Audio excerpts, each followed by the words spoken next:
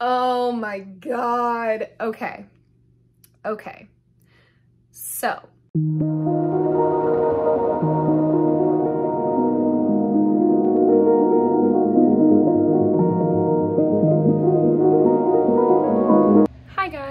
Sarah. Welcome back to another video here on my channel.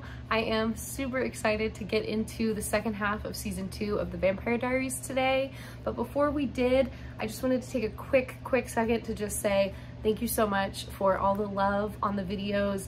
This channel is growing very fast and I'm so thankful. Um, I know I mentioned it last time, but just really it means a lot. All of you that have already subscribed, those of you that have liked and commented on the videos, talking to you guys down below has been so fun. So please keep it up. I'm enjoying that part. Like so much getting to just like interact with you guys and hear your thoughts and like commiserate on hatred of the characters it's been so fun um so thank you guys so much as i said if you have been enjoying the series and you're not yet subscribed please go ahead and consider doing that and I'm really glad that the phone situation seems to be working. Somebody mentioned that the buzzing, they could hear like little notifications going off. I hope that I fixed that. Um, we should be good this time, but just keep letting me know if anything sounds a little funky. Um, I do plan on at some point getting like a, you know, little fancier setup, but for now, this is what we're working with. I hope it is okay. Um, it is a little weird for me because like I'm, this is my whole phone, right? But to look at you, I have to look over here I cannot look at the middle of my phone. If I look at the middle of my phone, look, I'm no longer looking at you. Isn't this weird? So that's a little trippy for me, but we're making it work. Anyway, we're here today to talk about the Vampire Diaries, so let's get into it.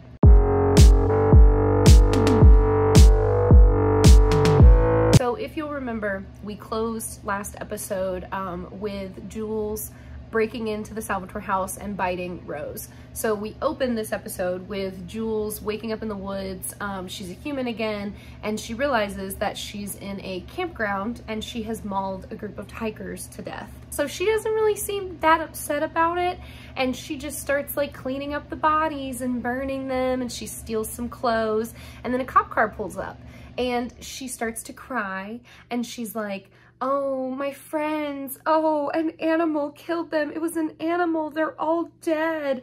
And the cop is like, hold on, hold on. I'll get help. And he goes to radio for help and she freaking knocks him over the head and takes that poor guy out too. So kill count for the wolves, guys, it's pretty high, okay? We give the vampires a bad reputation, but it seems like every wolf we've encountered so far just kind of goes feral when they turn and just kills people for funsies. So Elena and Stefan have like a cute little makeout session before school and we learn that Stefan is planning to take Vervain like Katherine so he can build up a tolerance. So Stefan is now taking like small amounts of human blood and small amounts of Vervain. And the first sip for him like he chokes and spits up and it's really violent when he drinks it uh, but we know that it gets better because Katherine can like sip it now and she's pretty much like totally tolerant to it. Like it doesn't really bother her at all anymore. So we can look forward to that for Stefan. Even though Elena needs to go to school, Damon is like, can you please stay home instead and babysit my dying vampire friends with benefits human because Rose is just getting sicker and sicker and sicker. And because Elena is like the mom figure of the group, she's like, yeah, of course, I don't need to go to school. I'll watch Rose. And she just decides to babysit Rose for the day while Damon goes off trying to hopefully find a cure. So Tyler and Caroline run into each other at school and he thanks her for helping him and they have like a a moment, okay? Like he kind of, there he's like, thank you so much. And she's like, oh, you're welcome. And then he sort of like smolders at her a little bit and she's just like, who? and like gets flustered over Tyler. I was like, girl, what? You watched the man almost die one time and now you're all about it. But like, yeah, she is. So then Matt comes up and she's immediately like, oh my God, Matt, nothing was happening because something was happening. and Matt's like, it's fine. I don't, it's, it's okay. If you say nothing's happening, nothing's happening.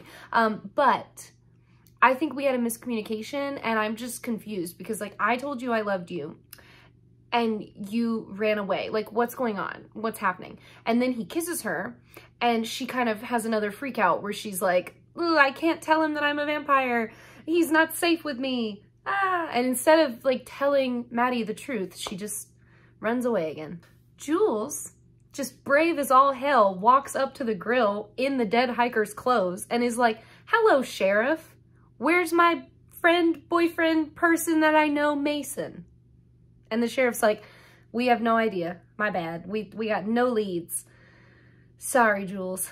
Stefan goes to Rick to see if they can find anything else in Isobel's um, research because remember, she's like real smart and she was researching like all mythical creatures. So Rick had initially thought it was just vampires, but it's actually like pretty much everything they need. Isobel's research becomes like a catch-all for that. So Stefan's like, there's gotta be maybe something about wolf bites for Rose. And then maybe could we find out more info about Klaus for Elena? Like we need to just see everything Isobel has and figure out if there's anything that can help us. While Elena is watching Rose, um, it, Rose is kind of like slipping in and out of memories and she's very like feverish and it's it's that kind of sickness. Like her mind is kind of going, it's basically like dementia for the vampires. Um, so they end up in Damon's room and Elena's like tucking her into bed and kind of like looking around the room. And Rose is like, you've never been in his room before, have you? Like, it's not what you thought it would be. Mm, yeah, he's a good guy, I know. And Elena's just kind of like, okay, hush, dying vampire. Like, we don't need to unpack this right now. And Rose is kind of just like, you know, you're really lucky to have someone love you the way he loves you because I don't have that. And she admits that like Trevor was like brother seems like the wrong word, but like he was more of that, like a family figure. It was never romantic. So they loved each other like very much, but it was just never anything more than like we need each other for survival and we need to take care of each other because we don't have anybody else in the world. And it never became more than that. Whereas like Damon and Stefan like are romantically and platonically and like friendship, like every kind of love they can feel for Elena, they do. And Rose is like, I've never had that. She's also very upset that Elena wants to like give up and just do what Elijah wants because she just thinks that she should be willing to fight for her own life, but also like for her own choices in her life. She's like, you, you should want more than this. You shouldn't want to just like give up and do what Elijah tells you to do. And she also, because of those memory slipping situations, she gets a little scary a couple times because she keeps thinking that Elena is Katherine. And there's a really bad moment where she like kind of fully attacks Elena a little bit thinking like she's Katherine. Come, Elena like leaves the room and when she comes back in, Rose has like slipped and so she thinks that that's Katherine. And then she bounces back really quickly and it says the most like heartbreaking line where she's like I'm so sorry Elena. Please don't be scared of me. And oh it's like a gut punch guys. It hurts. I really love Rose. She is one of my favorite female characters. Oh. Damon confronts Jules and is basically like, look, I won't kill you if you tell me how to fix the wolf bite. And Jules is like, there is no cure, you big dumb idiot. And is the dementia setting in yet? Is she in like horrible burning, terrible pain? Does it feel like she wants to die? Good, go ahead and just stake her in the heart because that's the only way. You just have to put her down. And Damon's just like, but like he can't do anything. So then they part ways. Rose has another slip where she like runs away from Elena. She ends up downstairs in the cellar, just going absolutely feral on the blood bags. And then when she turns to look at Elena, she thinks she's Katherine again. So she starts chasing Katherine through the house, wanting to kill her. And Elena has to do several things. She like opens the curtains so that Rose burns. Then she digs her hand into the wolf bite on her shoulder. So that hurts her. And then she finally, instead of you know, going outside where Rose can't get to her, she goes up into Stefan's room and like barricades the door and stands in front of the window with a knife. And Rose ends up like banging on the door a little bit. And then she starts going like, Elena, I'm sorry. I know it's not Katherine. I know it's you. I'm sorry. Please help me. But Elena, for the first time in a while, is smart and decides to stay still and not let Rose in because she cannot be trusted and she's a feral vampire now. Matt tries to find out why Caroline ran away again and she's like, uh, well, I love you too, Matt. And he's like, okay, I'm more confused than I ever was. And she just vamp runs away from him again. So they're not having good communication in their relationship. It's not looking good for Maddie and Caroline. Elena decides that she's been smart for long enough, so she unbarricades the door and goes back into the house trying to find Rose. Instead, she finds the front door open and Damon, who's like, what happened? And Rose is like, or uh, wow. Elena's like, she's crazy now and I think she got out. And Damon's like, awesome, I gave you one job. Speaking of Rose, she wanders out into like a football game at the high school and ends up puking her guts out because she's to that point of the sickness. And then she eats a janitor. I think she does say she's sorry before she does it, but yes, she eats the janitor. And then uh, the sheriff, you know, they find the body. So now the sheriff's looking for another vampire and she's confused because she thinks they keep killing all the vampires and they just keep finding more. So she calls Damon and Damon has Elena with him. So he's like, you stay with me. We've got to go find Rose. Rose attacks a couple getting into their car and she eats the boyfriend first. And there's something about this rewatch. Maybe it's the fact that like I'm engaged this time or the wedding is like looming closer, but I would just lose my mind in a situation like this. Are you kidding me? You leave the football game because the janitor has a heart attack. You go to get into your vehicle and your boyfriend just gets snatched and eaten? No, but thankfully in this case, the girl also gets eaten. So they don't have to live without each other. All I'm saying is I would lose my mind. And it happens way too often and way too casually in this show, okay? Couples just stay getting wrecked constantly. Damon and Elena find Rose and he gets her to snap out of the feral state. So she kind of comes back to herself and then she just starts crying and like begging for it to be over because she killed people and she doesn't kill people anymore. So she feels terrible. And also she scared Elena and Elena was her friend. So she's just devastated that this is happening to her. I think they do do a really good job of showing the way the sickness happens, like especially in Rose. She gets like a really bad case of the dementia and it does kind of elicit those same feelings of like when you're watching a movie and somebody has Alzheimer's and you're kind of seeing that like slip of progression where it's like sometimes they know what's happening to them and sometimes they don't. And it's scary. It they do a good job of like giving her all those feelings. Um, and it's definitely like really heartbreaking for Elena and Damon to like watch her going through this in the middle of the school parking lot when they get Rose home, she has another quiet moment with Elena where she tells her that like Rose and Damon are really similar because the second they like start to care about someone, they get really scared and they either run away from it or like lash out. And then she tells Elena to please fight against her fate and just like stay strong and like trust her friends. And then she has just like this horrible like convulsing pain attack. And Damon just like shoos Elena out of the room to keep her safe and gets into bed with Rose and just like holds her through the pain. And she's like begging him to make it stop. It's, I'm telling you guys, it's a very intense sequence of scenes. It's very sad. Tyler goes to Caroline to tell her that he doesn't understand why she would help him when she knew that a vampire bite could kill werewolves.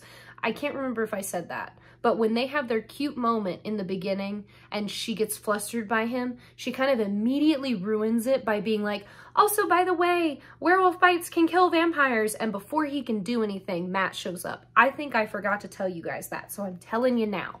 But that's why he comes to see her again, because he's like, um, why did you do that? You shouldn't have risked your life for me. And she's like, you needed my help. Like, I, I, had to help you. And he's like, I don't understand you, Caroline. And then he kisses her. And y'all, it's not like he kisses her only, okay? He, they're like, she's leaning against the door. So he like kisses her and then they pull away from each other. And then they kiss each other again. And then she pushes him away and she's like, whoa, whoa, whoa, we can't be doing that. And he's like, oh, I'm so sorry. I thought, and she's like, no, everyone just needs to stop kissing me. And then she goes inside. oh my God. Okay. Okay.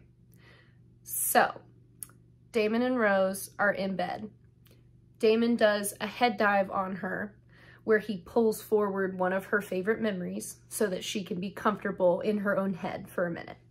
and it's a memory of her like from her childhood. Not, I say childhood, from her like young adult life when she was probably still a human and they're like she's running through a field in this like beautiful dress and her hair's all long and curled and there's horses in the field with her and she's so excited to like be there and like smell the fresh air and be surrounded by all the nature and then Damon's there and he's in regular clothes and she's like oh my gosh I never thought I'd see this place again like will you sit with me for a little bit I just want to enjoy the fresh air and he's like for a while yeah so she like leans on his side and they have like a cute little like watching the the scenery. It's it's beautiful. It's like a mountainside hill and it's fall. So it's just like perfect. Then we kind of cut back to them sitting in bed so we know for sure that like Damon is kind of orchestrating this memory, but also Rose is now comfortable and like at peace and she's no longer like convulsing or any of that. We go back to the memory and Rose asks him if he thinks that she'll see her family again. And he's like, I think you'll see whoever you want to see. I'm going to get emotional. No. Ah. He says, I think you'll see whoever you want to see. Then we cut to Damon picking up a steak. We go back. Rose is like, she jumps up from the ground and she's like, I'll race you to the trees. Like, I bet I can beat you. And he's like, okay, you go ahead on three. And then they count down and on the three, he stakes Rose in the heart and she dies. Uh, but it's so sweet, guys. It's so sweet. So we go back to him, like he's like crying while he holds her. And it, oh my God, it's such a moment. It's such a good moment. It's one of my favorite scenes. This is like one of the most like gentle vampire deaths we see.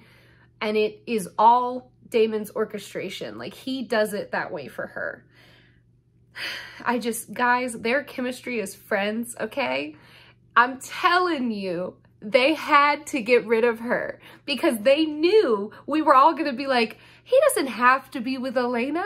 He could be with Rose. That could work out. And they knew we would want it. And they were like, that's not how we're going to write this show. We have to get rid of the enemy. And they just offed Rose. she does not come back. I'm sorry, but it, oh man, it gets me every time. The way she's like, I want to enjoy the fresh air. Will you enjoy it with me? It's just, oh, it's so cute and it hurts me every time. Damon takes Rose's body to the sheriff to be like, I killed your vampire. Yay. Uh, but then he's like, I'll bury her. Like, I'll take care of the body. So we know that like wherever he's going to take Rose, he's going to like give her like a respectful burial, which is again, very sweet. Jules meets up with Tyler at the grill and she basically is like, I know you're a werewolf because I'm a werewolf. I can help you. They killed your uncle. Mason's dead. And Tyler's like, what do you mean they? Who killed him? And she's like, your little blonde vampire, that's who. And he's like, what? Caroline never would have done that. And she's like, yeah, she did with the help of her other friends. And Tyler's like, but she's the only vampire in town. And then Jules has to explain that like, no, they've all been lying to him.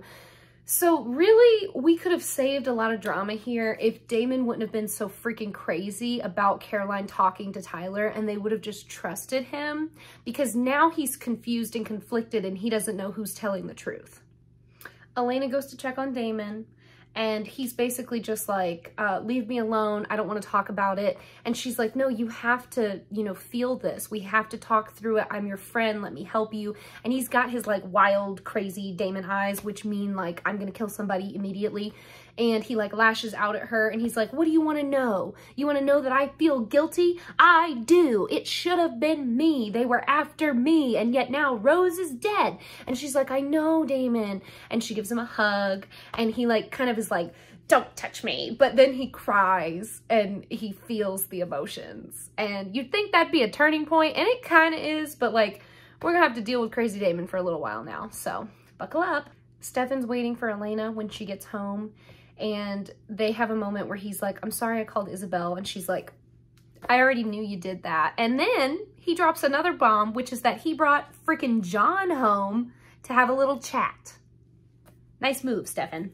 Damon does his whole fake death in the road situation and this poor girl pulls over and tries to help him. He very quickly like shows that he's actually crazy and starts like threatening her and then he uses compulsion on her to get her to stand still and it seems like maybe he's just gonna talk to her and he basically is like, I'm having a really hard time. I don't know what to do because the way that I normally handle my emotions is going to upset her and I don't want to upset her. I want to be the person she wants me to be, but I can't be that person because if I'm that person, then I'm not myself. And who am I really underneath all this pain? I don't want to unpack that.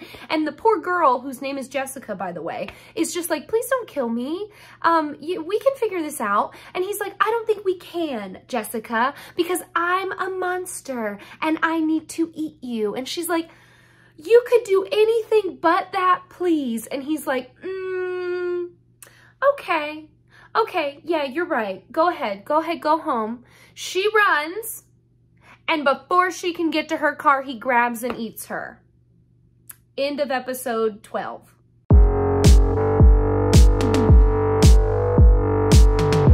So episode 13 opens with uh, Caroline leaving the house and Tyler showing up to talk to her. And she's initially like, oh my God, Tyler, hi. We really need to talk about that kiss because you can't be doing that. Like, I'm still with Matt. And Tyler's like, right. Did you kill my Uncle Mason? Do you know who killed him? Why are you lying to me about everything? I know the truth now, Caroline, and you're a lying liar. And Caroline has to admit that, like, yeah, she didn't kill Mason, but she knows who did and she knew the whole time that he was dead. So the whole time she's been helping Tyler, she's known Mason was dead. That devastates him because they'd gotten so close and they'd bonded and now it kind of feels like all of that was fake to him. So in this period of time, I understand where Tyler's coming from because that would be like a really, really big betrayal. And I think that they don't cut him enough slack for that because like his whole life got turned upside down and he thought he could trust Caroline. So she came to him in like his most vulnerable time and told him like, oh, it's okay. I understand. Look, I'm a vampire. We can get through it together. And then was lying the whole time. That would be horrible. Especially when your dad and uncle have both just died. And you can't tell your mom because she's not going to believe you. And she's on the council that wants to kill things like you. So I get where he's coming from, okay? His anger also flares up really bad here and he like, he kind of like starts to attack Caroline. I think he like growls at her or something. Uh, the wolf powers are kind of weird because it's like they're always just like slightly too strong. Sometimes their eyes flash and their teeth get weird, but then they don't, they can't fully turn into wolves. So yeah, he does that and then she's like, oh no, Tyler, and he leaves. He like backs off and leaves. We get a Damon in the shower scene followed quickly by a Damon in a towel scene while he like mourns or thinks about or broods broods. He's brooding. He broods over the fact that he killed jessica because like yeah that was a mistake. He shouldn't have done that. When will he get his emotions under control? Stay tuned Elena confronts John in the kitchen about why he's back, but he's super evasive and just like doesn't want to give her a real answer. And then Jenna comes in with Rick and things get real messy because John has like a power trip moment where he's like, I'm the head of the household and Elena's bio dad, and I don't think Rick should be in the house naked, okay, Jenna? That's not like good things for a guardian to do. It's not very guardian-like of you. And Jenna's like, you can go to hell, John. We literally all hate you. But like John owns the house, so it is a little bit of a problem. Damon is equally mad that Stefan brought John home, uh, but Stefan insists that like the only reason why he did it is because John and Isobel know about the whole Klaus sacrifice situation. And Stefan's like, he's going to be able to help us save Elena. He just won't tell me how yet, but he is going to be able to do it. And Damon's like, since when do we trust this lying piece of garbage. Caroline is absolutely terrified that now that Tyler is kind of going all crazy werewolf, Damon's gonna kill her and Tyler. And Stefan's like, ooh, yeah, he might because he's a little unhinged right now after Rose's death. So I'll help you protect Tyler because he's gonna need it. Jules goes again to Tyler and is like, look, I'm bound by an honor code to help you. We're meant to be one big pack. Please let me help you. It would be like everything I'm meant to do. And it, they're, they're, it's kind of, I don't know. It's definitely like the pack mentality. I was going to say it's kind of weird. It's really not though. It's just like very different from the vampire like sire bond that we'll learn about later. That one is very much like, I made you and I control you. And the wolf one, we don't get a lot of alpha talk in the beginning. So it's more so just like they're meant to like help protect each other. So that's what Jules is saying to him. And Tyler takes her up on it because he's all alone and he doesn't know who else to turn to. And now he's fighting with Caroline, so he can't even have that friendship anymore. Damon says he just wants to have a nice little friendly chat with John, but Elena is like, absolutely not. I've never trusted you less in my life. I'm going with you so that you don't kill him. After talking to Tyler, Jules runs off to the woods and meets up with a guy named Brady. He's there to get revenge on Mason's death and he wants to just like burn all the vampires. And she is genuinely more focused on helping Tyler. And she's like, look, I know you want revenge, but we're outnumbered. We just need to get the kid and go. And Brady's like, mm, the mayor's wife tells John that Damon is now head of the council and he needs to get over it. That's how things are. And then Jeremy very quickly runs into John and is like, look, homie, you can't be back here and be all anti-vampire because things are different now and these guys are our friends. So back off. Dr. Martin goes to Bonnie and is basically like, I'm sorry that Luca and I lied to you, um, but Elijah is a really good man and he's going to keep his word. Like as long as Elena does what she says she's going to do, Elijah's going to do what he says and he's going to protect her friends and keep everybody safe. But Bonnie has like zero trust for the Martins now, so she just thinks he's lying completely. Stefan goes to Tyler to try to talk to him about everything and he genuinely just wants to talk to him. He's not like Damon, he doesn't want to like hurt Tyler at all. But Tyler freaks out because he thinks that Stefan and Damon killed Mason, which they did, and he doesn't understand like why that all happened. So he ends up just like being afraid of Stefan and it takes a little bit of time for Stefan to get him calmed down enough to be able to tell him everything. And he's basically like, look, dude, I don't think the wolves and the vampires need to be fighting. I think we can coexist. I came back here to live my life. You are here living your life. There's no reason why we can't all coexist. And Tyler just doesn't believe him. So he panics and answers his phone when it rings and is like, help me, Stefan, and then hangs up. And Stefan's like, who was that, Tyler? And we hard cut to Jules in the woods with Brady. So that's who just found out that Tyler's in trouble. And now it becomes a whole situation. John tells Damon that the reason why he doesn't want to tell any of the vampires what's going on, i.e. like Stefan and Damon, why he won't tell them the plan. It's basically because Elijah can compel other vampires. So he's like, how do I know I can trust you? Like, how do I know that Elijah hasn't just done something to you and you're just pretending to be normal. And Damon's like, dude, we're taking Vervain. Like, he can't compel us. And John's like, mm, okay, but I don't really believe you. You're going to have to prove yourself to me. But he doesn't tell him how. So that's not helpful, John. Matt runs into Caroline and he's like, hey, I really want to talk to you. I really want to figure out what's going on, what's going wrong. Like, what this is. Can we please talk after work? And she's like, yes, absolutely. That sounds like a great plan. I will see you after work. And then immediately she is kidnapped by Brady and Jules and it's really bad. Okay, they put a wooden bullet right here and it's terrible. It it's such a scene, okay? And then they kidnap her. And then she wakes up in a cage in horrible pain because there's a wooden bullet and she has to pull it out. Ew, it's so gross. the way the vampire stuff works with that, it's like if they get hit with a bullet, it will like work its way out slightly and then they usually have to like dig in and like pull it out. So like Are you joking? That's disgusting. Stefan and Tyler are still trying to have their like, can we be friends? Can we trust each other conversation? And it's not going well. And then Stefan gets a call from Caroline, except it's not Caroline, it's Jules. And she's like, we kidnapped your friend and we're gonna kill her. And Stefan and Tyler are like, what do you mean kill her? So then Tyler's like, I can't believe they're doing this. I don't want Caroline to die. What did you expect, Tyler? What did you think was gonna happen? Jenna introduces Damon to Andie Star, who is the new news anchor lady. We've seen her on TV, I think at least once on this episode. Um, she'll be important later, but for now, Damon just like brushes her off and is like, I don't have time for this, Jenna. No girls for me. Damon and Elena jointly find out about what's happened with Tyler, Caroline, everything. Um, and he flips and he's like, Wolf is dead. And she's like, don't kill him. This is Tyler. We cannot kill our friends, Damon. And he has this amazing line where he's like, stop assuming I'll play the good guy just because it's you that's asking me to do it. And then she hits him with, be the better man, Damon. John interrupts them. I think this is happening in the bathroom. If I remember correctly, they're like in the grill bathroom. And so John interrupts and is like, what's going on here? And Damon gives like a quick rundown and he's like, you stay with her and keep her safe. And she tries to like go around John and John's like, ah, ah, ah, what's going on? And keeps her in place. So Damon runs off and Elena stays with John. Brady is torturing Caroline and it is not good.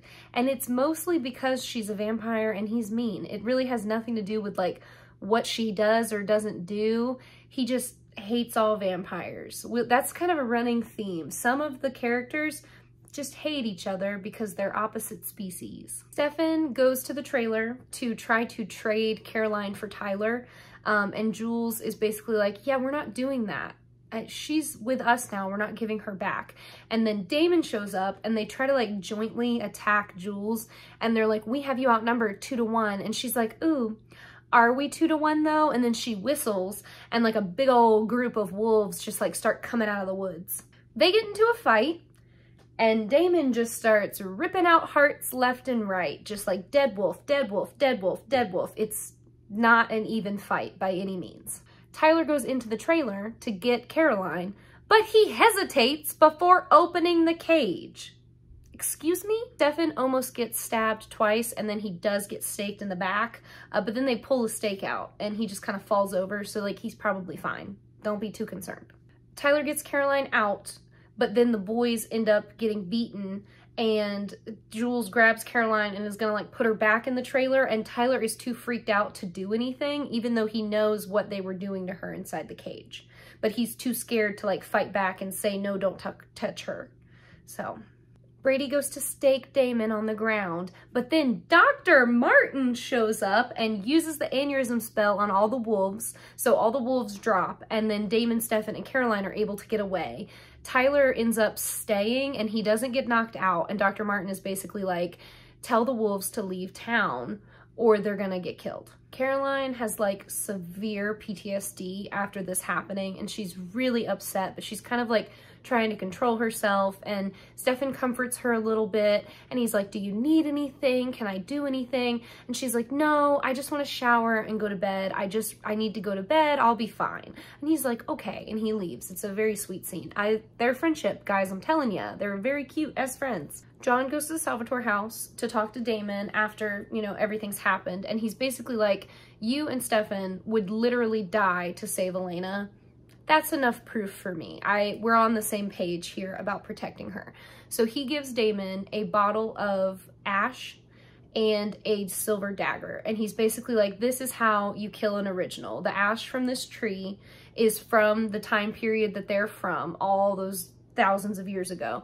And all you do is dip the dagger into the ash and then you stab them in the heart and that's how you kill them. He also says that Isobel is currently working on finding a way to keep Klaus from ever being able to come back into town to get Elena.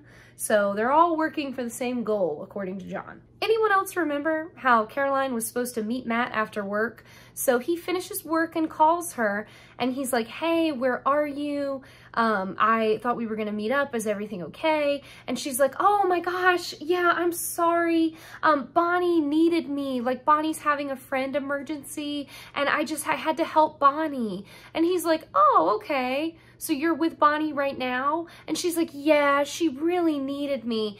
And then we cut to Matt seeing Bonnie in the grill with Jeremy. So he knows she's lying. That's not going to end well, guys. Tyler shows up to apologize to Caroline. And he's basically like, um, you know, I didn't know who to trust. I didn't know what to do. And Caroline's like, well, I lied to protect everybody, Tyler. Like, that's the only reason why I lied.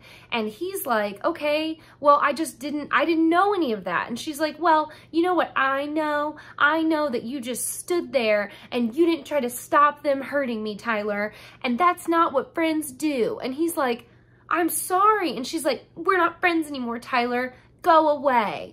Which, again, I know that probably they should have had this conversation a little later but I think it's a little harsh of her to just completely denounce him because a lot of times in this show, people forget that like, okay, Caroline was lying to protect her friends, but in doing that, Tyler's uncle died. So that's Tyler's family that was taken from him. He's allowed to be upset. And then nobody tries to tell him why that needed to happen. Nobody even like attempted to explain it to him. And he's supposed to just like be okay with it. So I kind of get where he's coming from. Okay. That's what I was saying before. And I think Caroline's a little harsh. Like she has every right to be upset but also he was acting off of instincts because he didn't know what was going on because he hadn't been given the whole story.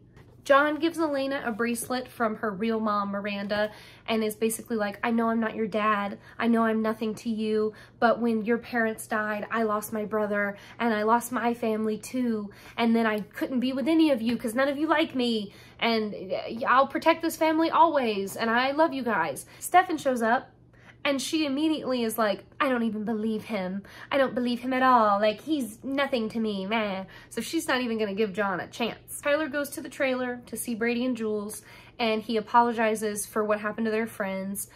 And he's like, look, is it always like this? Like, is this really what my life's gonna be like now? And they both kind of laugh it off and they're like, no, dude, like you just live in Vampire Town. Like we were trying to tell you, there's a place where like we can be together and we can be a pack and we can enjoy life on our own. We don't have to be surrounded by them all the time. They're the reason why stuff sucks. And then he says that like Mason was in town looking for the moonstone. He like lets that slip and Brady just freaks out and is like, the moonstone? And Jules is like, I swear I had no idea. And Brady's like, tell me everything you know, Tyler. Caroline opens the door again to see Stefan. And she's like, Stefan, I told you I'm fine. I don't need anything. And he's like, oh, I know you don't need me. That's why I called him back up. And then he steps aside and Bonnie and Elena come in and they're like, we're gonna do a sleepover. Like, it's gonna be so fun. And Caroline starts crying and it's really sweet. And we get to see the three of them all happy together, which is always nice. We hard cut to Damon in a bubble bath with Andie. That's right, the lady from the grill that Jenna introduced him to. And she's like, I can't believe you called me. And he's like, uh-huh, yeah, I needed a distraction. And she's like, oh, okay. And then he just launches into, yeah, when I'm upset, I do bad things. And she's like, what kind of bad things? And he's like, I kill people. And she rightfully starts to freak out. So he uses compulsion on her and he's like, don't panic. You're safe with me. Relax. So she relaxes and she's like, why do you, why do you kill people? That is not a normal reaction that most people have. And you basically, the scene unfolds and we realize that Damon called Andie over because he needs a friend and he's too afraid to go to Elena about it because that's who he's trying to hide all of this badness from. And he's like, she wants me to be a better man, but then if I'm that person, I'm not myself anymore. And Andie's like, well, maybe love is changing you. And Damon's like, we don't have time to unpack all of that right now. And he just bites her and that's the end of that scene. John goes to see Katherine in the tomb. He says that Isobel sent him because she could not come because she's working on other parts of the plan. And Katherine's like, I want out of this tomb, John. And he's like, I know. I'm already working on it.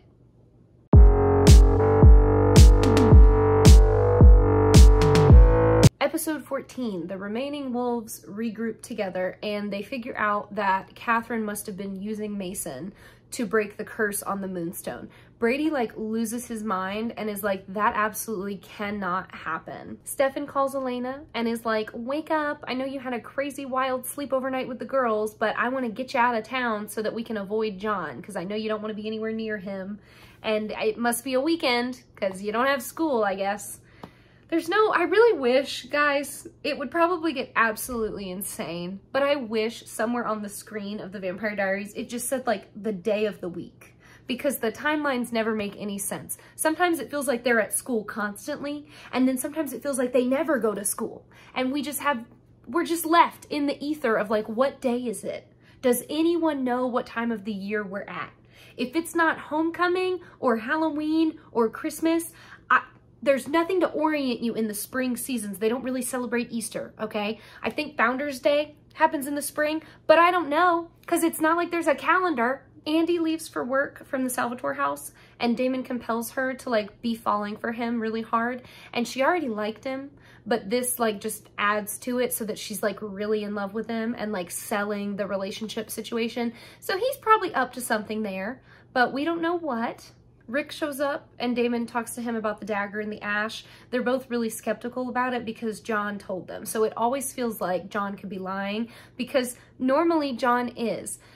So then Damon is like, well, I'm going to go to this episode's historical gathering of the Society of Founding People, and I'm going to go talk to Elijah because if you'll remember, um, Elijah is pretending to be like a traveling historical writer visiting the town, and the founding families are just eating it up because they love talking about themselves.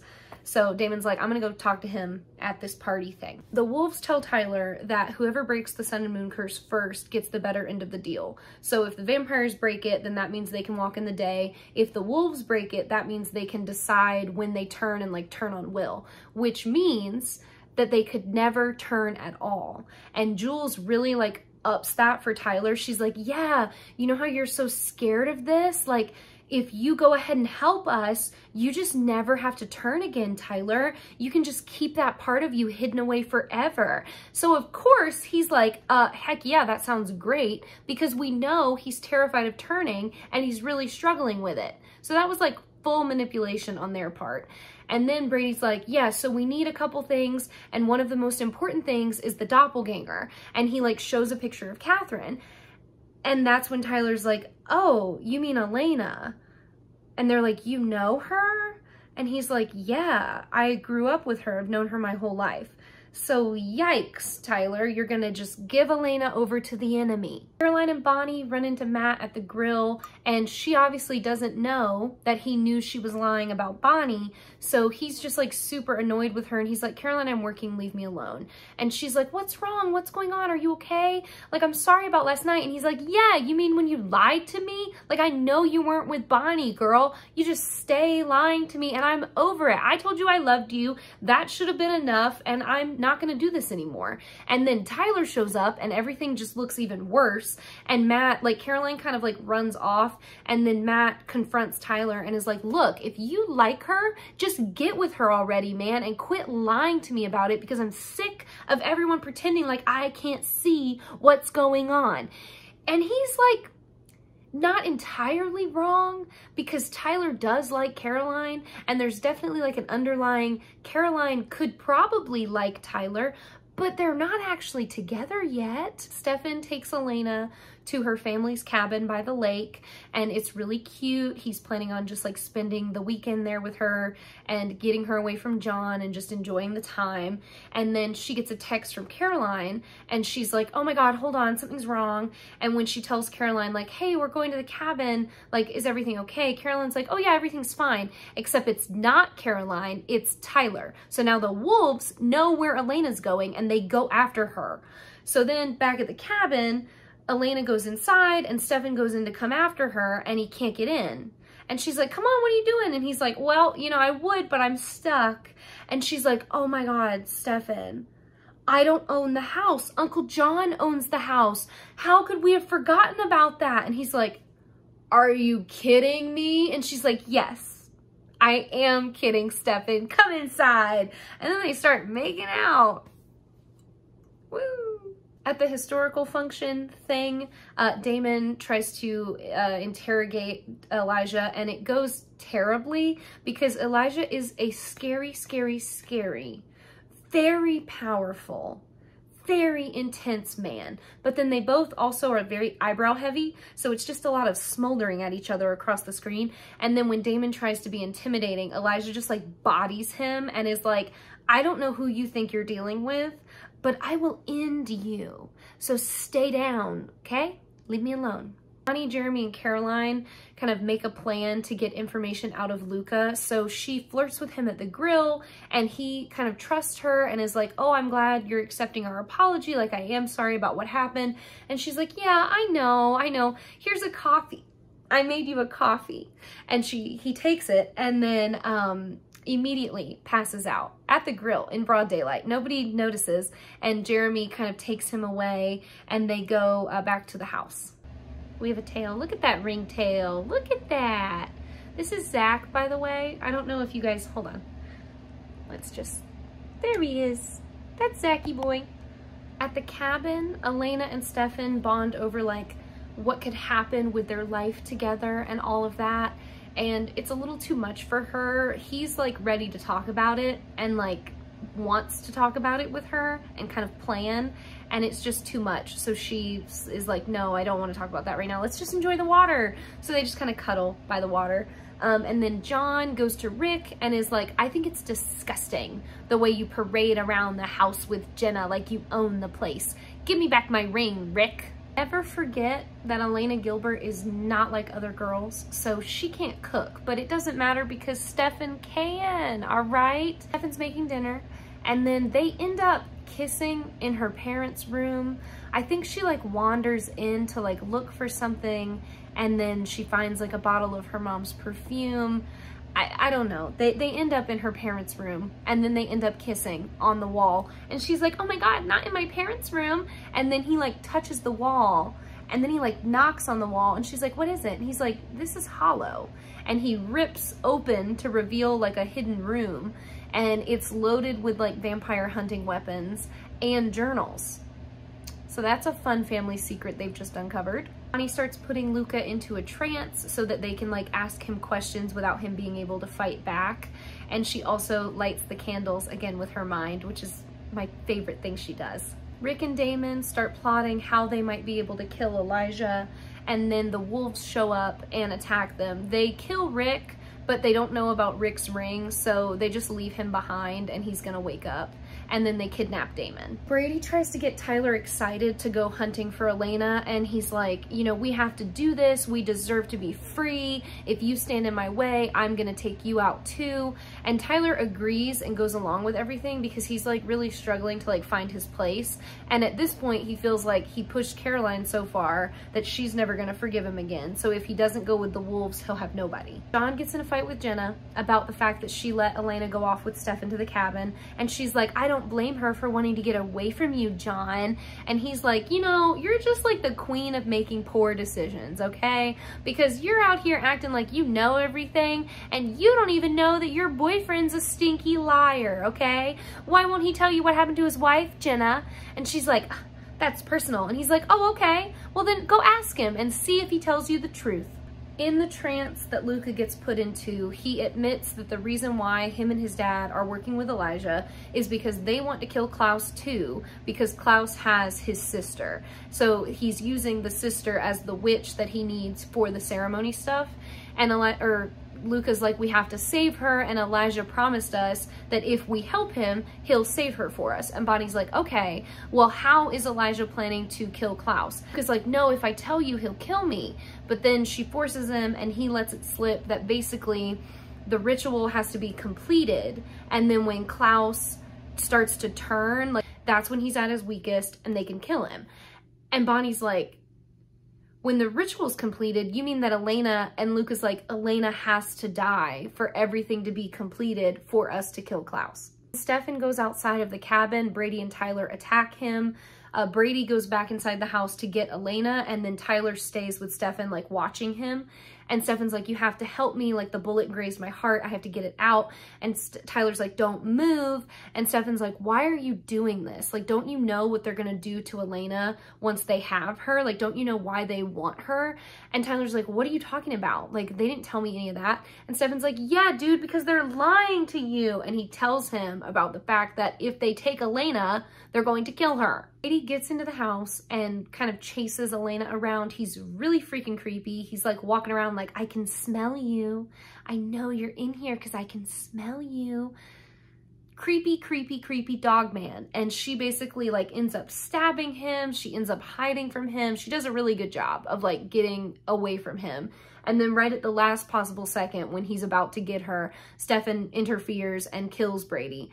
And then we see that Tyler helps Stefan get out and Tyler apologizes to Elena and he's like, I'm so sorry. I didn't know what they were going to do to you. I had no idea. And Elena forgives him, which thank God because he, he's been through it in this episode alone, guys. While the wolves are torturing Damon, Elijah shows up and he's like, here's the moonstone wolves go ahead and take it. And then when they come to grab it, he just kills all of them except for Jules who gets away. And then he like rips through the chains that Damon's being held with like so easily. I love that about Elijah. He literally just like clink and just rips them off. And he's like, this is the third time I've saved your life. Freaking idiot. He doesn't say the freaking idiot part, but we know he's thinking it. Once Rick wakes up, he calls Jenna and he's like, I'm so sorry. I fell asleep. I'm a jerk. Can we reschedule? And she's like, oh, yeah, no problem. Like, we can totally reschedule. But she's definitely got doubts now after what John said to her about how Rick's not a good guy, which is just annoying. Like, they were doing so good. And now, uh, once again, there's relationship drama between Rick and Jenna. Why can't they just be happy? Stefan goes to Elena and is like, look, I just talked to Bonnie and we just found out that Elijah's been lying to you. Like, he's planning to kill you anyway for the ritual to happen. And Elena's like, yeah, I know. I've known the whole time uh, because Elijah is like really funny about his word choices. And he told me that if I did what he said, he would protect my friends and loved ones. He never said he would protect me. So I've known the whole time. Stefan freaks out. He's like, what? So you're going to be a martyr now? Like, this isn't heroic, Elena. It's tragic. You're just giving up your life. And she throws in his face that, like, he does that for her all the time. So it should be the same. And in her case, there's like 10 to 15 people, basically the whole town, that if she dies, will be saved. And Stefan's like, I don't accept this. I can't believe you kept this from me. I am disappointed in you, Elena. Bonnie and Jeremy get into a little back and forth moment where they admit that they think each other are hot, but Bonnie's like, it can't happen. We can't be together. Elena will freak out. It's so weird that you're her little brother. This is so weird. And then Jeremy smooches her and, you know, Bonnie and Jeremy are a thing now. So remember when I said long ago that I really liked one of Jeremy's girlfriends. It was Bonnie. I was talking about Bonnie the whole time. Tyler's mom is like walking through the Lockwood house and she finds a note from Tyler. We hard cut to Tyler saying goodbye to Matt at the grill and he's basically like, I know you don't want to talk to me, but nothing happened with me and Caroline. Like I was going through something really bad. She helped me. I fell for her because she's awesome. How could anybody not fall for her? But she loves you and she deserves to be with you. Okay? And Matt's like, okay. And then Tyler leaves. Then we go to Caroline at her house. She like hears a knock at her door, but when she goes outside, nobody's there. But Tyler's there. He just wanted to see her one last time. Then Tyler gets into a car with Jules and we realize that he's gonna leave with her and go figure out how to be a wolf somewhere else.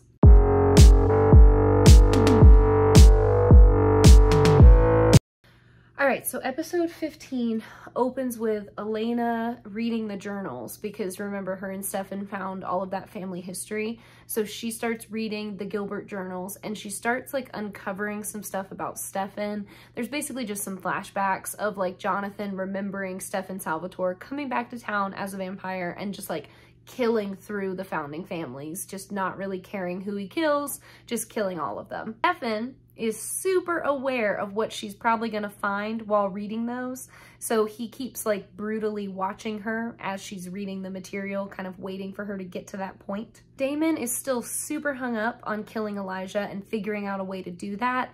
But he's also like, I don't want anybody else to get hurt. So he's kind of in planning mode for the first time. Normally he just like does whatever he wants. But this time he's like, we need to figure out how to do this safely because I don't want anybody getting hurt, which is good. That's a good way to think about things, Damon. Elijah talks to Jenna. She's like showing him around some like old property stuff because remember, Elena's mom was like the head of like the historical society and Jenna's like lightly taken over that role. So she does a couple things. She doesn't know as much as her sister did, but she knows enough. So she's showing Elijah around and he basically explains like the founding families weren't really the founding families. Like the actual first people to live here were from Salem. Y'all remember when Grams said that Bonnie's family came over from Salem? I'm just saying. But then Rick shows up and he ruins Elijah's story by being all weird and alpha over Jenna. And Elijah kind of is a good sport about it. I think this is the scene where he says like, Rick is like, leave Jenna alone. And Elijah's like, relax, Rick. I don't go for younger women. And then he like laughs and he's like, it was a joke, Rick, lighten up. Like, I love him so much. I love Elijah. Oh my God. Luka confronts Jeremy and Bonnie about what they did to him because he's like, why did I talk to you and then just wake up in a bathroom stall? Like, I know you did something to me, but they won't tell him anything. And Jeremy also does a little alpha thing and he's like, get out of here. Go away. She said she doesn't want to talk to you. So Luka has to leave. Elena and Stefan get into an argument over the whole Elijah thing again. She calls it a difference of opinion and he just flips out because he's like, I want to save your life and you want to sacrifice yourself. A difference of opinion? Are you kidding me? Then he kind of backs it up and is like, so you're reading the journals, huh? Find anything good? And she's like, yeah, I'm finding a lot of stuff. A lot of stuff that you didn't tell me, Stefan. So he decides that he wants to just go ahead and tell her his version of it. So they like close the journal and we get like some flashback overlaid with Stefan explaining. And basically it's it's kind of what we'd already started to piece together, but it's all becoming like more clear. Stefan, when he turned initially, was like a holy terror of a vampire. So he was just killing people left and right. He was eating his way through the founding families. And then he was also like having all these women come to his rooms all the time and just like killing them for fun. Damon wanted to be smart and clever like Katherine. So he kept being like, you know, you can't do this. You're going to get us in trouble. You're going to get us caught. You're going to get us killed. You need to behave. And Stefan was like, would you relax? We're just having fun. This is supposed to be fun, brother. And Damon's like, yeah, I'm not having a good time. This is the worst. And then he's like, I'm going to leave because I can't trust you to keep us safe. So I'm just going to leave you behind and go somewhere else. And then immediately Stefan is like, brother, brother, no, brother, I can change. Brother, please don't leave me. And Damon's like, no. Elena has the absolute nerve to be like, wow, it sounds like you were Damon. And Stefan's like, oh, I was worse. Damon's girlfriend Andie invites uh, Elijah, Jenna, and Rick to a dinner party that she's gonna host after Damon compels her to do so. Damon goes to the tomb and gives Katherine a fresh bottle of blood and a change of clothes as like a little bribe. And he's like, hey, I wanna know how to kill Elijah. And she's like, Damon, even if I knew how to do that, why would I do that? Because if you kill him, I'm stuck in here forever and I would like to leave. And Damon's like, okay. So like, even if I had like a dagger ash combo, would that work on him? And Katherine freaks out and she's like, Damon, please don't kill him. Please don't kill him. Please don't kill him. I don't want to be stuck in here forever. And Damon's like, oh my God, thank you for telling me what I needed to know, Katherine. Bye. But once again, Stefan and Katherine as vampires, very similar. They're so manipulative. Back to another Stefan flashback scene. We see him eating off the dying members of, I guess, probably the Confederacy because of where they're at in Virginia. I think he's still in Virginia for this. They hadn't left yet. So yeah, he's eating like the sick people of the war. And then he sees a vampire and he goes after her and it's freaking Lexi. That's right, she's back. We get some Lexi time. She comes and goes as the seasons go on and I love whenever she pops up. It's so fun. So for this one, she pops up as like flashback to tell us how this is when she found Stefan. She started helping him. Um, she wanted to keep him from being a ripper and like teach him to control himself. She also says like, you're all the bad parts of being a vampire. Like you're overlooking all the good ones because you're just literally everything awful with this. You've become it. Jenna and Andie talk about the tension between Jenna and Rick. And Jenna's basically like, yeah, he's just not being honest with me. I don't know if I can trust him. And Andie's like, oh my gosh, that's so important with a relationship. I'm so glad that Damon tells me everything and we have no secrets, which she's not wrong. He compelled her to not be scared, but he has told her everything so far. So then Rick and Damon talk and they basically, Rick is like, um, no sneak attacks, no surprises. Like we have to be careful. And Damon's like, I know, I've got this. The Ash Dagger combo is going to work. Then John shows up for the dinner party, uninvited. Bonnie comes over to hang out with Jeremy, but he set the living room up with like candles and soft lighting. And she's like, oh my God, this is a date, Jeremy, no. And he's like, what are you talking about? We like each other. We kissed. Why can't we be together? Elena's not even here. And she's like, because I have to tell Elena first. I have to make sure she's okay with it before we go any farther. Are you crazy? And he's like, okay, we will just hang out and look at spells, whatever. But you did like it, right? The candles were kind of nice. And she's like, yeah, I did like it. It's really cute. They're really cute together. When Elijah shows up for dinner, he's like, if you try anything, Damon, I will kill you and everyone else Elena loves. Don't test me. And Damon's like, oh my God, I would never do that, Elijah. I'm not going to do anything to hurt you. Show of hands. How many of us think Damon follows through with that? No one? Okay. At dinner, Elijah explains the witch burning. Uh, basically, you know, eh, we don't, again, again, we don't get into the race of it all, but we can assume that Bonnie's family was people of color and probably a lot of the other witches were people of color. So they came to the town first, they founded the town, and then the founding families showed up and we know, we can assume that they were mostly not people of color and then they rounded up the witches and burned them so that they could be the founding families. That's not good. That's so bad. And that's really the only time it's touched on in the show. That's, that's the town history I want to know more about. I want to get into the details of that.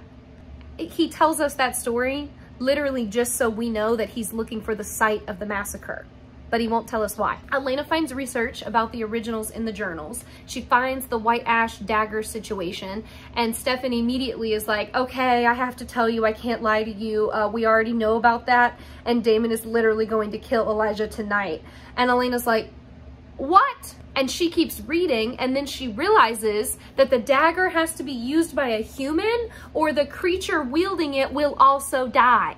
Jenna gives Rick a hard time about the fact that she doesn't want to talk to him because he's being weird about Elijah because she thinks he's just being weird because Elijah's a dude and he's threatened. But really, Rick is being weird because Elijah is a vampire and he should be scared. They should all be scared. But he can't tell Jenna that, so it just looks like he's being a jerk for no reason. And then John is like, also, Rick, I may or may not have mentioned that you're a big fat liar, and now she knows about your wife.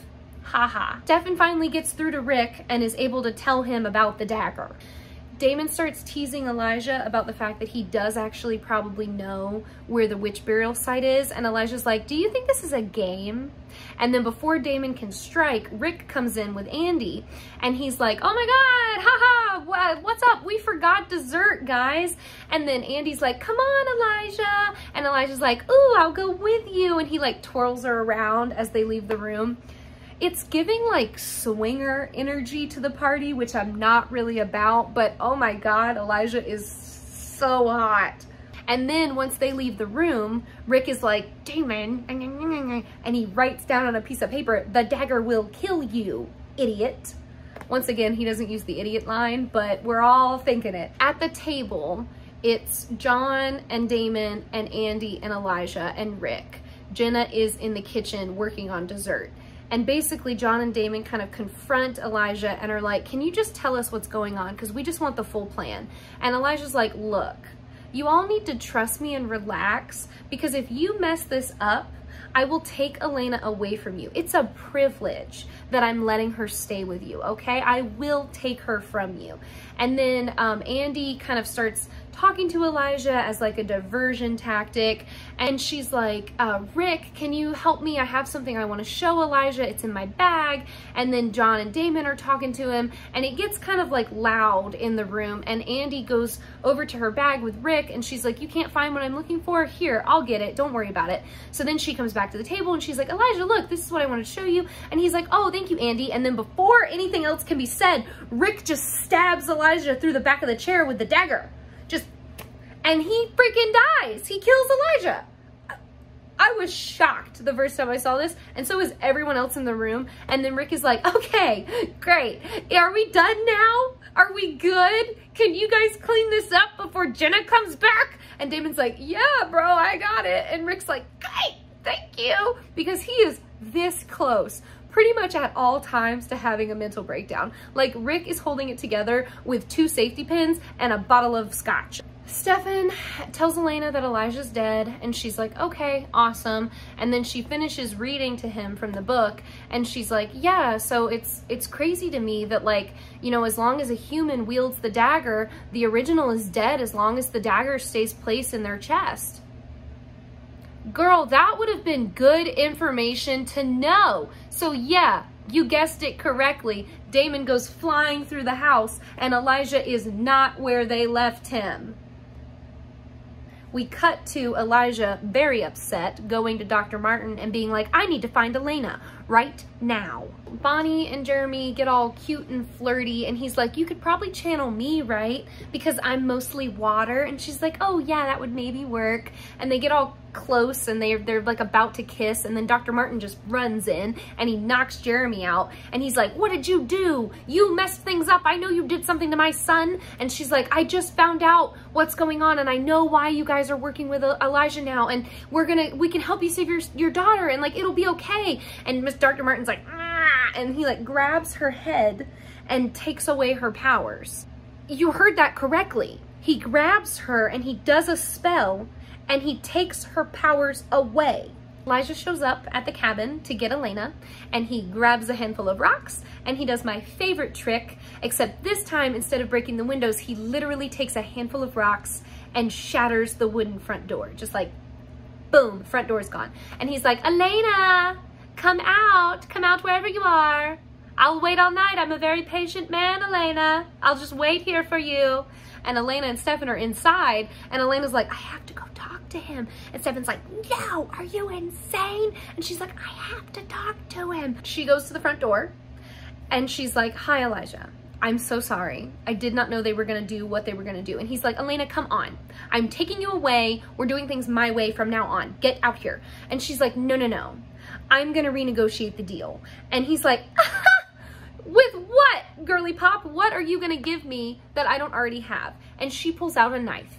And he's like, what are you doing? Stefan's not gonna let you die. And she's like, you're right. He'll give me his blood and then I'll kill myself again and I'll turn into a vampire and then you won't have a doppelganger, will you, Elijah? And he's just like, oh, I, I don't think you're gonna do it. I'm calling your bluff. So Elena stabs herself and Elijah panics and he goes like flying at the door, but he can't get in. And he's like, come here, come let me heal you. And she's like, only after you give me your word. And he's like, okay, okay, okay, I won't kill your friends. I won't kill your friends. Okay, cool, let me heal you. She agrees and like stumbles outside into his arms and he's like, okay, I've got you, like it's okay. And before he can heal her, she freaking stabs him herself, homies. Are you joking? So then Elijah is dead again and Elena's like, okay, it's dying because she stabbed herself in the stomach. So Stefan Stefan comes out and like very quickly heals her and everyone's okay except for Elijah who has died twice in one episode. I'm not okay. Jenna confronts Rick about Isobel and she's like, what happened to your wife? I want you to tell me. And he's like, girl, I can't. But he also can't give her a reason. And she's like, so you're not being honest to me. Like that's what John said. John said, you're not being honest with me. Are you lying? Are you hiding things? And Rick admits that like, yeah, he is. So then they break up and it's so sad. They're both crying. It's really sad. Then John comes into the room and he's like, oh, that's so sad, Rick. I'm sorry. And Rick is like, screw you, John. Here's your ring back. After what you did to Damon, you're gonna need it. Because remember, John told Damon about the Dagger Ash situation, but he did not tell him that a human had to use it. So he was planning on Damon killing Elijah and Damon also dying. Um, when they bring Elijah's body to the house, Damon finds the moonstone on him and he calls it a bar of soap. And he's honestly so real for that because I don't think the stone that they used uh, for this is moonstone. I think it's actually selenite, um, which is like, you know, like the white like people normally it's like a stick but it can be carvings uh, because that's what this stone looks like. I hope I can find a picture of it for you, but if not, I'll just show you a piece of selenite and then I'll show you a piece of moonstone. This is the one that's in the show and that's not moonstone. So I know my crystals and I don't think that that's moonstone. I don't know what it is, but it's not moonstone. Elena's pretty sad about the ending of everything and she's like, look, you guys want me to fight, but then you don't tell me everything beforehand. So how can I accurately make my own choices if you're hiding things from me? Like if you guys want me to fight this, I will do it, but we have to do it my way from now on. And Damon does not want to agree, but they both agree to it in order to keep her from trying to off herself again. We get a final flashback scene of Lexi and Damon meeting for the first time and Lexi's like, I'm here to help him. Like, are you the brother that like hates him so much? Like that hatred that you think you have under control is like gonna consume you one day. Like you don't have control over that. And Damon's like, yeah, whatever. Just help my brother, okay? He really needs it. And Lexi's like, I will help him. Like I, I can do that. And then they part ways. So once again, Damon left Stefan because Stefan was uncontrollable and Damon wanted none of that because in the beginning, Damon was the good vampire. We cut to the present again and Damon's going to bed. So he goes into his room and the shower's running and he's like, Andie, what are you still doing here? I thought you left. And he rounds the corner and it's not Andie, guys. It's freaking Katherine. The Airborne Toxic Event song, um, Happiness is Overrated, starts playing and it is like the ultimate perfection of like song choice and visuals on screen. It's so good, okay? Like truly so good. So it's Katherine and she's just like, hi Damon, what's up? I got out of the tomb. and she basically is like, I knew if I begged you not to kill him, that's exactly what you would do. And then the compulsion broke. And so now I'm out, but I didn't leave Damon because I want to help you guys kill Klaus.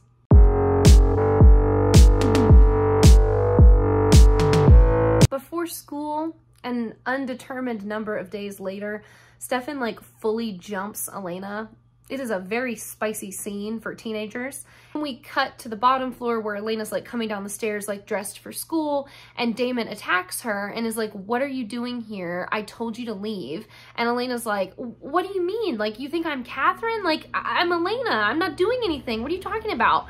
So then Stefan comes downstairs and sees Damon like choking Elena out and he's like, what are you doing? And they kind of mutually realize like, oh, Katherine's back. So Stefan goes flying upstairs to the Elena that he just made out with. And he's like, what the heck, Katherine? How could you do this? I can't believe you did this to me. You're disgusting. And then Lena from downstairs shows up on the staircase and she's like, it's getting too easy being you, Elena. So that's terrifying. When they straighten their hair, they look exactly alike. Like, oh my God, this is so much easier when Katherine has curly hair. Katherine swears that she's staying in town to help them kill Klaus because that will also benefit her. So she wants to work together to just get it all handled. Nobody really trusts her, but she seems to be telling the truth. Matt and Caroline have an awkward encounter at school where he's like, have you heard from Tyler? I think he said goodbye to me, but without saying goodbye, and now I can't get up with him. And then Caroline's like, no, not really. He didn't say bye to me. I don't know where he went.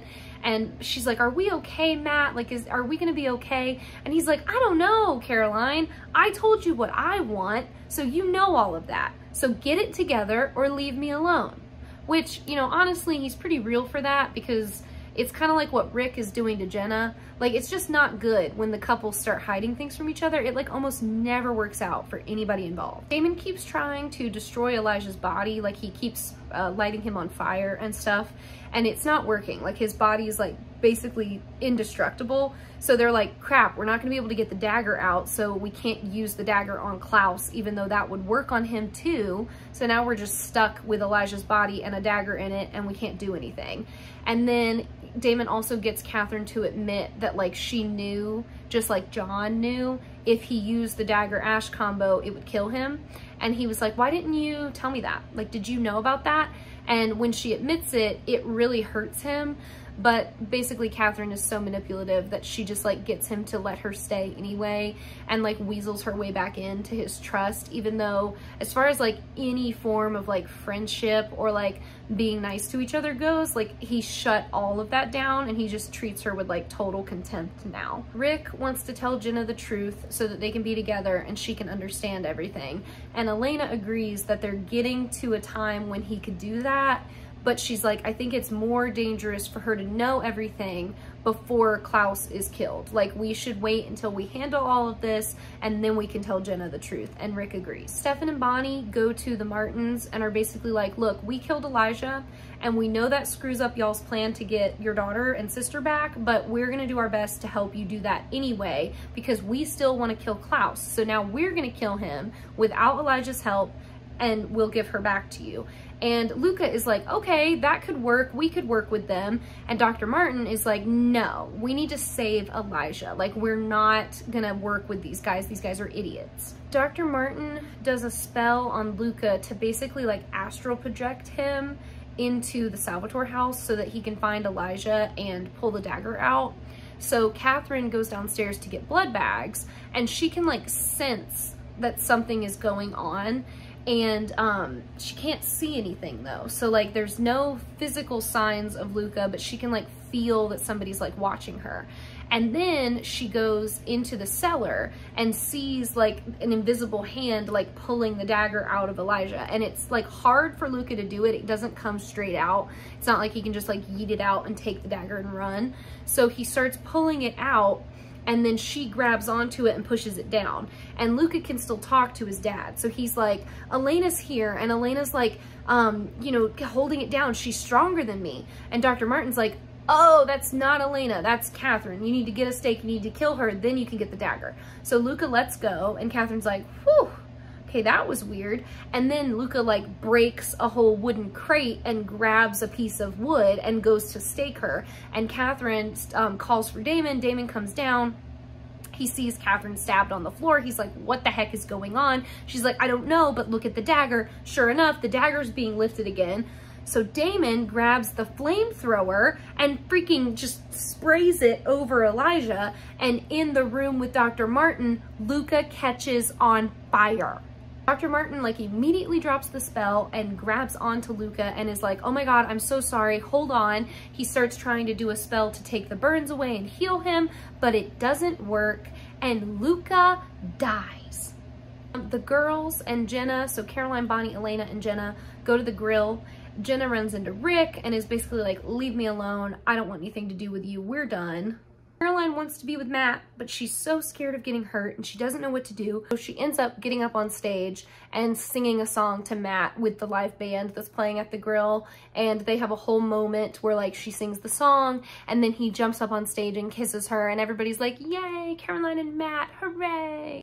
Stefan goes to um, the Martins to find out what kind of witch attack they were trying to do and finds Luka dead and then sees Dr. Martin and Dr. Martin's like, you took him from me, you killed him. Now you're about to find out how that feels. And then when he like stakes Dame or Stefan and Stefan falls down, Stefan sees a picture on the floor of Elena and we kind of put it together that Dr. Martin probably just did a tracking spell on Elena and now he knows where she is. So Elena is in danger.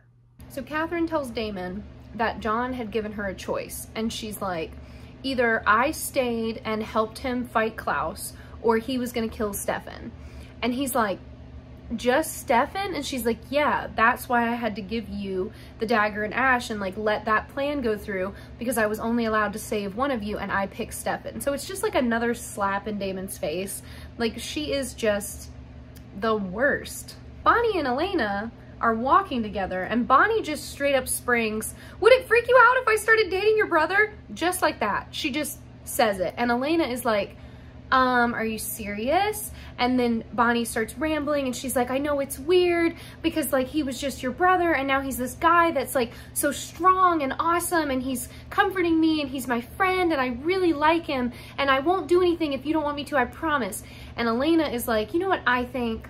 I think that my brother has been through enough as it is and he's had horrible things happen to him and he deserves to be with somebody as awesome as you. So of course you have my blessing. So now Bonnie and Jeremy are gonna be able to like be officially a couple. Like I would love to know y'all's reaction to that information because I am fully biased because my best friend is literally marrying my brother a month after I get married this year. So like, I'm so excited about that. Like she's gonna be my sister for real. So with the Bonnie and Elena and Jeremy, I'm like, yay, that's awesome, that's the best. But I know most people, when I tell them that, they're like, are you okay with it? Like, how are you handling that? As if it's like a bad thing, but it's not, it's really awesome. So Stefan tries to warn Elena about the fact that Dr. Martin is hunting her now and then Elena like steps out of earshot to answer his phone call to talk to him. Dr. Martin gets inside the grill in that time and like confronts Bonnie and is like, where's Elena? Tell me where she is. Bonnie won't give Elena up, so he just goes like absolutely feral. He starts like breaking bottles, exploding the lights. He lights the bar on fire because he's like, either you give me Elena or I kill everyone in here. And Bonnie can't fight back because remember, he took her powers. So it's just like free for all shit show going on in the grill. Um, Elena and Stefan end up back together they go running into the bathroom to plan with Caroline and Stefan's like, we know what we're gonna do. It's gonna be okay. We can figure this out. We cut to Caroline attacking Dr. Martin and Matt sees this happening and tries to like intervene, not realizing that like Caroline's a vampire and can kind of handle it. And then Dr. Martin uses the aneurysm spell on Caroline.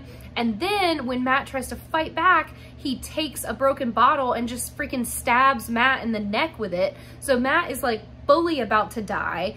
Dr. Martin runs away and Caroline stays with Matt and gives her his her blood to heal him. But then Matt is awake and conscious and sees everything happening and he's like what is going on? And he's terrified.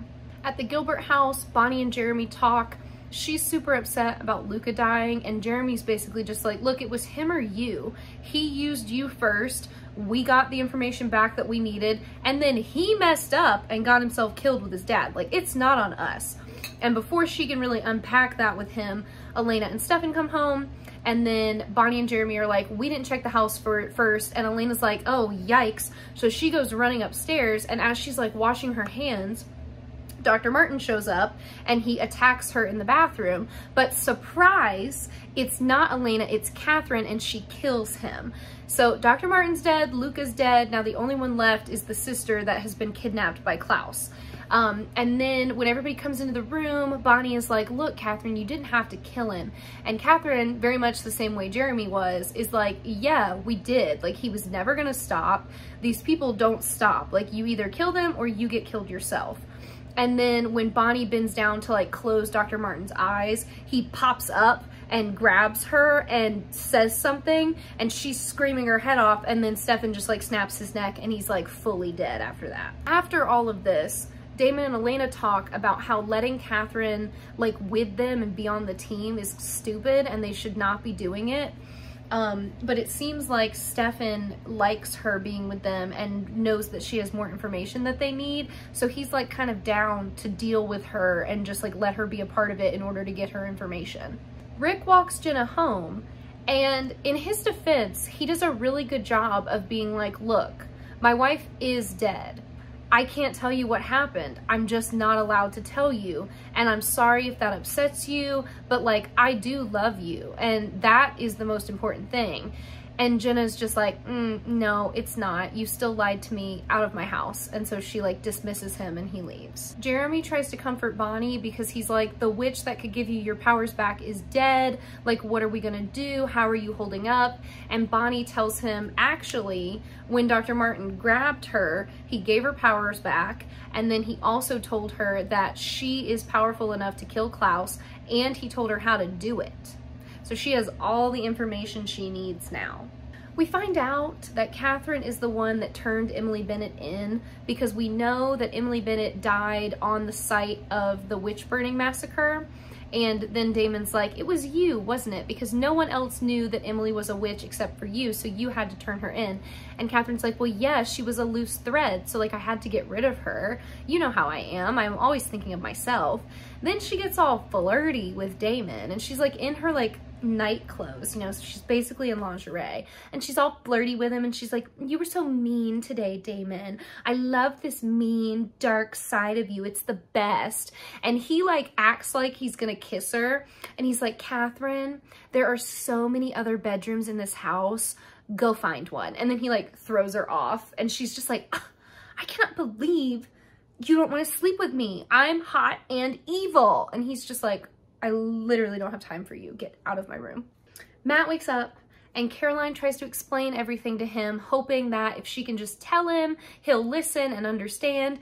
But he just freaks out because Vicki told him that a vampire attacked her and he told Vicki she was crazy. So now he's like, oh my God, it was you, Caroline. You killed Vicki. Jenna and Elena are eating ice cream, decompressing from the crazy days they've had when there is a knock at the door and Jenna goes to get it. And wouldn't you know it, it's freaking Isobel.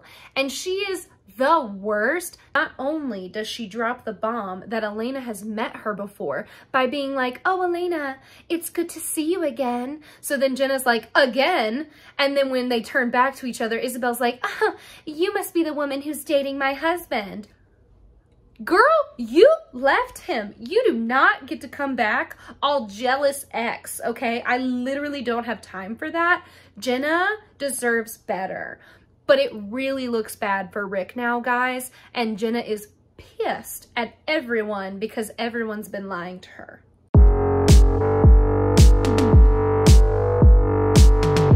So, okay, episode 17 Isobel's there. She's the worst. Jenna has a meltdown about everybody lying to her.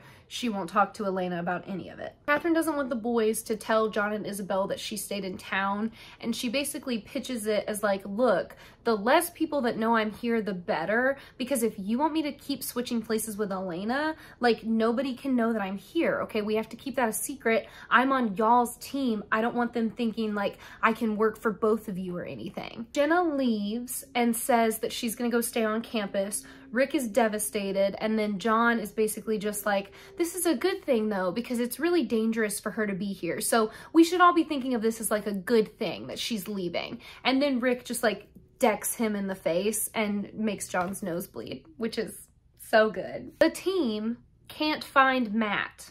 He ran away from Caroline before she could compel him and he is missing. John invites Isobel inside the family house because she says she has info on Klaus so her info ends up being like, I haven't found him yet, but I found people in his inner circle. And basically he's coming no matter what. And because people know that Elena is alive and a doppelganger now, more groups of people are coming to get her. So she wants to take Elena to a safe house and like somewhere that only Isobel knows where they can keep her safe. And then John is like, I think that would be okay. And Elena's like, no, absolutely not. I am not going with her. Like, are you kidding me? She's crazy. Uh, Bonnie goes with Damon to help clean up Luka's body and she insists that like they take care of him and then also she wants to keep the grimoires that they've been um, accumulating because there's like dozens upon dozens of grimoires from like all these different families that Dr. Martin's been collecting. And she's like, we should preserve this knowledge. And also, somewhere in one of these journals is the spell I need to find Klaus. And she does like a little location spell in the room to get the specific one that she needs to come to her. So now she knows which one. And then she also tells Damon, um, that she should be able to be powerful enough, especially if they can find the witch burning site. And he's like, actually, I know where that is because I know where Emily died because I tried to save her and Emily died at the location of the witch site. So I know where it is. We know more than Klaus. Katherine goes to attack Isobel at the house she's staying in, and then very quickly the fight devolves into hugging because they're friends. That's right, people. So Isobel basically tells us that she made a deal with one of Klaus's witches and the deal was if she gives the Moonstone and Elena over to Klaus, Katherine will be able to go scot-free and live her life and never be hunted again. When Damon, Jeremy, and Bonnie go to the witch burning site, which is basically like an old manor house in the woods, again, remember when I said there's a lot of stuff going on in the woods? I need to look and see if there's a map. I need to do that. Editing me, we need to do that, okay? Uh, but yeah, Witch Burning Site is somewhere in the woods at a house they go inside and then Damon's ring start, stops working. So he's still wearing his daylight ring, but the sun coming in through the windows starts burning him and he just feels really bad and gross and like something's wrong. And Bonnie's like, yeah, it's because they don't want you here. Like you're a vampire. This is like a very sacred witch site. You need to leave. So he's like, cool, okay, I, I'm the one who found it, but whatever, I'll just go outside. Katherine goes through the Salvatore house and finds the moonstone in Damon's soap dishes. Once again, he's so funny for hiding it there because it really does look like a weird, clear bar of soap. Isobel has the absolute nerve to go to Rick and be like, Rick, I'm so sorry that I was a jerk. I was a jealous ex. Like, I shouldn't have done that. Um, but I just, I had to apologize to you before what I'm about to do because, like, I did love you, Rick. I loved you so much. And he's like, okay, what are you about to? And then the witches, Klaus's witches, jump out and steal Rick. So Bonnie starts to work her spell to channel the witches and we can kind of hear them like whispering around her and there's like some music and like uh, vocalization sounds that start happening. And Jeremy's like what's going on? What are they saying? And Bonnie's like hold on. And they like wander through the house a little bit to a certain location. And then Bonnie's like okay okay hold on hold on. And Jeremy's like what are they saying? What is it? And she's like oh nothing nothing. They're they're just they're ready. That's what it is. They're just telling me they're ready Elena goes to accept a check in her mom's name for the Historical Society. We cut to Isobel showing up to John, who's also at this event up on the top floor. And he's like, what are you doing here? What's going on? And she's like, oh, me? I'm just here to make a distraction. She freaking attacks John and throws him down the stairs. Don't worry, he's wearing his ring, but he goes tumbling down the staircase and lands at the bottom of the landing in the Lockwood house. And everybody watching Elena get the check is like, oh my God, John Gilbert just fell down the stairs. What's going on? And when the sheriff and Damon run over to him, he's like very clearly got a vampire bite on his neck. So the sheriff's like, whoa, everybody just back up. Just give him some air. He's fine. He'll be okay and everybody does what she says, but like, oh my God, John's clearly not good.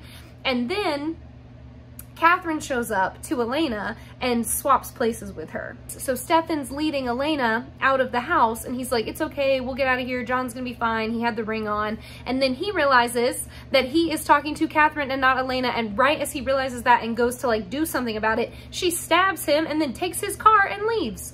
Bonnie works the spell to channel the power of the witches and she's clearly in like intense pain. She's like screaming really loudly and there's a lot of like wind and lights flashing and stuff like that.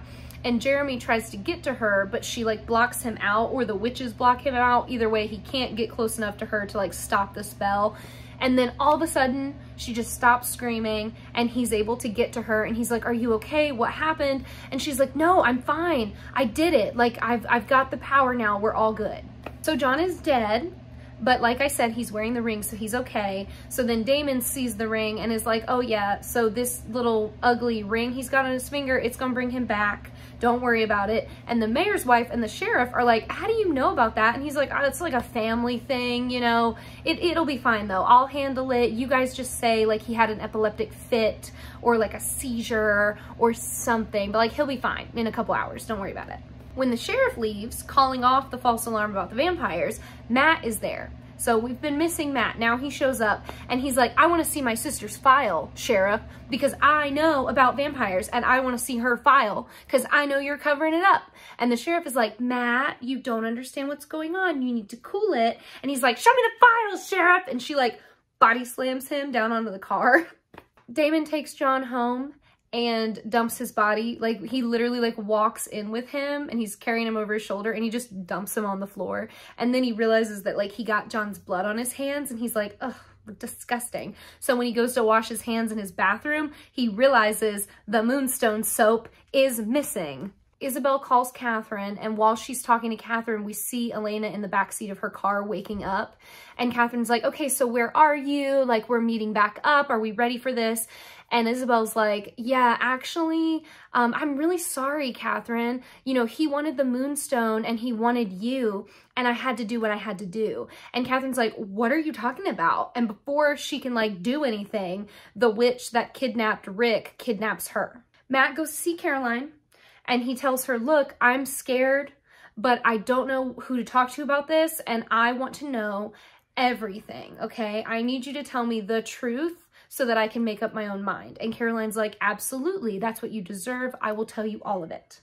Bonnie can now draw power from over 100 dead witches, and some of them are her ancestors, so that connection's even stronger. Jeremy is super concerned about the logistics of that much power, and Bonnie's like, don't worry about it, okay? They were just giving me a warning earlier and just letting me know that I need to be careful, but like, it's all gonna be good. Everything's fine. I'm so powerful now, I'll be able to protect us. So Isobel takes Elena to a cemetery and she shows her her own grave. So she's like, my parents put this grave here when they couldn't find my body because they just assumed I was dead. They come every year, blah, blah, blah. And she's like, you know, I wish you could have met that version of me. I wish you could have met the human me that wanted to meet her daughter one day because I think you would have liked her. And then she's like, but instead you're meeting this version of me, which is like all the bad parts of being a vampire. And, you know, I meant what I said when I didn't want anything to do with you now. And I'm just sorry that I was such a disappointment to you. The witch that kidnapped Katherine calls Isobel and Isobel's like, yeah, I did everything. I've got Elena. And he's like, okay, awesome. Let Elena go. And she's like, let Elena go. Okay. And he's like, yep, you're all done. You've done everything he asked you to do. And she's like, oh my gosh, I'm done now? And he's like, yes, you're done now. And then they hang up. And then Isobel takes off her daylight necklace and burns alive right in front of Elena. Because like, that's not traumatizing, Isobel. That's definitely something she wanted to see. So Caroline tells Matt everything and she apologizes for having to lie to him, but she kind of explains it was like to keep him safe. And now that he knows, you know, they can be together and things can be different. And he's basically just like, no, actually, I'm more alone than ever now. Like my sister's gone. My mom's never coming back. You're all lying to me. Like I'm all alone. I don't want to live this way, Caroline. Take my memories away. So he makes Caroline compel him to forget everything that he's learned. Jeremy looks further into Bonnie's new powers and realizes that in order to do the spell to kill Klaus, she will need all of her power, and using all of her power will kill her. Bonnie already knew that. That's what the witches were warning her before about. So she's basically just like, Jeremy, you can't tell anybody. Like, we have to keep this a secret. This has to stay between me and you. I don't want Elena to know. She'll never let me do it if she knows. Matt leaves Caroline's house and gets immediately into a cop car where we see Liz waiting for him. And he explains that he did exactly as he was told. He got Caroline to tell him everything, and then he made her believe that he'd been compelled to forget it all. And he's like, what is going on, Sheriff? I feel like she died. And the sheriff starts crying, and she's like, she did, Matt. Now tell me everything she told you. If you've seen the comment, Matt the Rat, that's where this is from. I had not seen that until I started working on these videos and now all my targeted stuff's coming out and I'm getting all of that.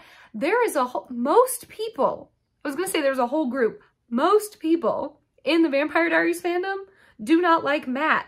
I was shocked. I was like, really? of all the boys, Matt's the one that we're gonna hate. But you know, I don't like Stefan, so I'm not judging any of you. But I just thought it was funny that I had never known that before until working on these videos. But yeah, so Matt's a rat and he's been lying to Caroline. John wakes up and he's like shocked that this has happened. He's like, look, I knew Katherine and Isobel were friends, but like I really didn't think they were working together because Isobel had me convinced that she was going to help you. And I believed Isobel because like she was my first love. And underneath all her like crazy vampireness, she's still that girl to me and she's your mom. So I was just hopeful, Elena, and I was wrong and I'm sorry. She tells him that he screws up everything that he freaking touches. He is just useless as all hell, but he's the only parent she has left, so maybe she can learn to not hate him. The boys talk about how Bonnie got her powers back, but Isobel and Katherine don't know that, which means that all the people connected to Klaus in their life don't know that, which means Bonnie is the secret weapon now. Katherine wakes up in a room with the same witch that kidnapped her performing a spell on Rick. And when Rick wakes up, it's not Rick. And he immediately like goes at Katherine. He's just got like an entirely different energy about him. And she realizes with absolute horror that it's Klaus. Somehow they've put Klaus's mind into Rick to keep Klaus's body safe.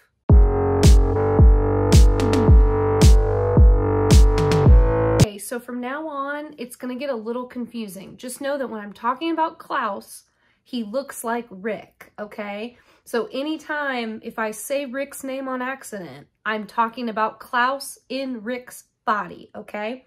That's what's happening right now. So basically, Klaus's plan is to keep his body safe by inhabiting Rick's body because Rick is also like in with everybody else. So he can kind of get information in Rick's body and like find things out that would be harder for him to find out if he was just being himself. Then when he goes to leave Katherine in the apartment, he gives her a knife and he's like, don't think I'm to kill you easily. I'm to make you suffer day by day because you ran from me for 500 years and you deserve to suffer for at least half that long. So then he tells her to stab herself in the leg over and over and over again until he comes back. The boys go ahead and give Elena the Salvatore house. They like literally give her the deed to the house so that they can build her like a safety zone mansion where she can like fully control who comes in and out because that was Isobel's plan but this is their house. So this is already kind of safer. And we get a fun scene where once she does that, she like immediately lets Stefan inside and then she goes to like not let Damon in and he's like, what are we, 12? What are, we, what are you doing here? Let me back in my house, you annoying little human girl. She lets him back in. It's funny. It's a good time. The boys want Elena to stay in the house. And then Elena and Bonnie are like, ah, no, Elena needs to go to school and Bonnie's the one that can kill Klaus on sight, so as long as Elena's with Bonnie, she's safe. Matt goes to the sheriff and tells her that he cannot keep lying to Caroline. She's going to be able to tell that something's wrong. And the sheriff is like, Matt, I just need a little bit more time because I need to like get everything organized and I don't know who to trust because now it turns out that the Salvatores are lying to me.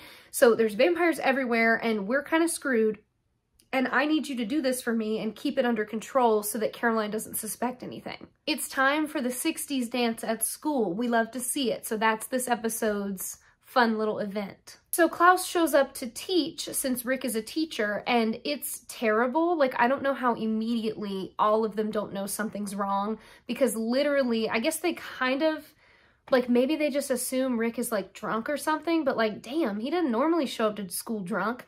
So he just does not do a good job. He's like, oh, we're learning about the 60s. The 60s were so boring. Like nothing good happened in the 60s. And he's just like weird and like in no way does he even sort of act like Rick. And yet no one notices. Also, when he first walks in and he sees Elena in the classroom, he's like, and just creepily stares at her from the front of the room.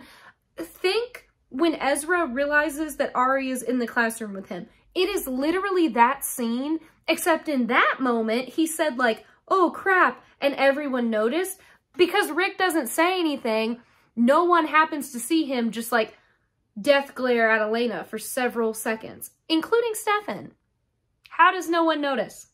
Jeremy wants Bonnie to tell everybody what's going on with the spell, but she refuses. So he storms off. And then when Elena comes over, a girl from school comes up to them and is like, Elena, you're not going to believe it. The hottest guy ever just came up to me and he wanted me to ask you to save him the last dance. Isn't that so sweet? His name is Klaus. I know the name is kind of lame, but I promise he was really hot. And Elena and Bonnie are like, girl, is he in the room right now? And the girl can't remember. Like, she's like, I don't know, but I remember he was hot. And like, that's it. Damon immediately is like, well, this is fine. We'll just go to the dance and we'll kill him. But everybody else is like, Damon, we don't know what he looks like. And he's like, so what? We'll figure it out when we get there. We'll just like let him go after Elena and then we'll kill him. Not safe. And Stefan agrees with that. So then Klaus comes home and it's Rick and everybody just gives Rick the plan. And then Bonnie even does like a little spell to show that she's got her powers back. So now Klaus knows everything. They just gave everything over to him because he's in Rick's body. So his plan, genius. This is one of the only plans so far that's been like really brilliant. The whole Elena stabbing uh, Elijah one, that one's pretty good too. But yeah, this one, this is a good plan. So Klaus basically freaks out and decides like, I'm just gonna have to kill Bonnie before she can kill me. Like that'll just have to be what I do. It's fine, I'll just kill the witch. And then his witch explains, look dude, I can put a spell on Rick's body to keep you a little bit more, um, invulnerable to her attacks. And then you just provoke her repeatedly and the power will kill her because there's no way that she can wield all that power and not die. So she must already be planning to kill herself to kill you. So just go ahead and get her to do it early. No problem. So I have seen this show a shocking amount of times, and this is the first time that I realized not only are Caroline and Matt dressed as JFK and Jackie for uh, the 60s dance that they're going to. They're dressed as JFK and Jackie on the night of his freaking assassination. She is in the pink suit, people. I was, I was like, no, how did I never notice this before? It was shocking for me to, to realize that. I was like, that's a choice that y'all made. Y'all made that choice. Elena's super nervous about going into the dance, but just Stefan is like, it's gonna be okay. If we can just do this, then we can end Klaus for good and it'll all be over and everything will be fine. Jeremy is also freaking out and he tells Bonnie that he wants her to wear his ring so that she can for sure be safe that night. And she explains that the ring only works on humans against supernaturals. It won't protect her from anything to do with supernaturals because she's a witch. Um, Klaus has a student like go up on stage and say that the next song is from Klaus to Elena. Isn't that so sweet? And Elena is like very grossed out by it. And then Damon and Rick are standing together and Damon says to him like, ugh, I'm not impressed. Like this guy's lame. And Klaus is like so offended. He's like, you didn't think it was cool? Okay, yeah, I guess it was kind of lame. Like, play a song for her, like, Damn. Like, all he wants is to be, like, patted on the back and clapped for for being a good villain. And it's so funny. Lena can tell that Jeremy's really upset and something is clearly wrong, but he won't tell her what it is. So then she sends Stefan after him, and Jeremy ends up breaking and telling Stefan that Bonnie will die if she does the spell. So now everyone knows. So Stefan confronts Damon, pissed that he didn't tell him, and then Elena confronts Bonnie, and Bonnie is like, look, I have to do this for you, and I know for a fact that if this was reversed, you would do it for me, okay?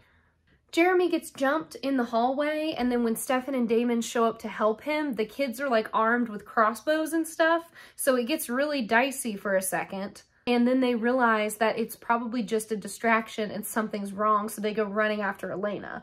Well, Elena and Bonnie are standing outside, and Rick comes running up, and he's like, girls, girls, they've got Jeremy. Klaus took Jeremy.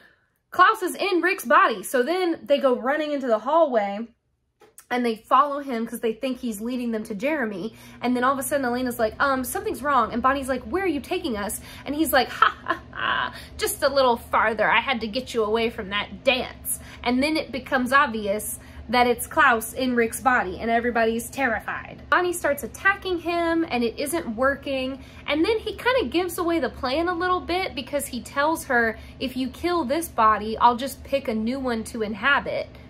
Kind of outing himself. You'd think he would have been like, oh no, Bonnie, don't kill me. Oh no. But he just like totally tells them what's going on.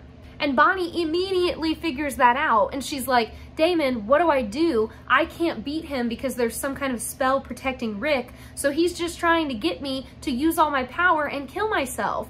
I can't do that. And Damon's like, okay, okay, we have to figure this out because Klaus can't win.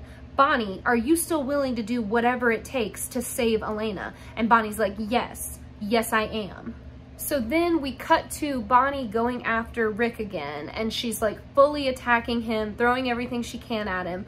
Elena and Stefan, who both now know what Bonnie's trying to do, come running after her. She shuts the doors on them so they can't get into the room. I think it's like part of the cafeteria that they're in. They can't get into her. She's like destroying the room, destroying Rick. Like it's going really badly for him, but he's not dying.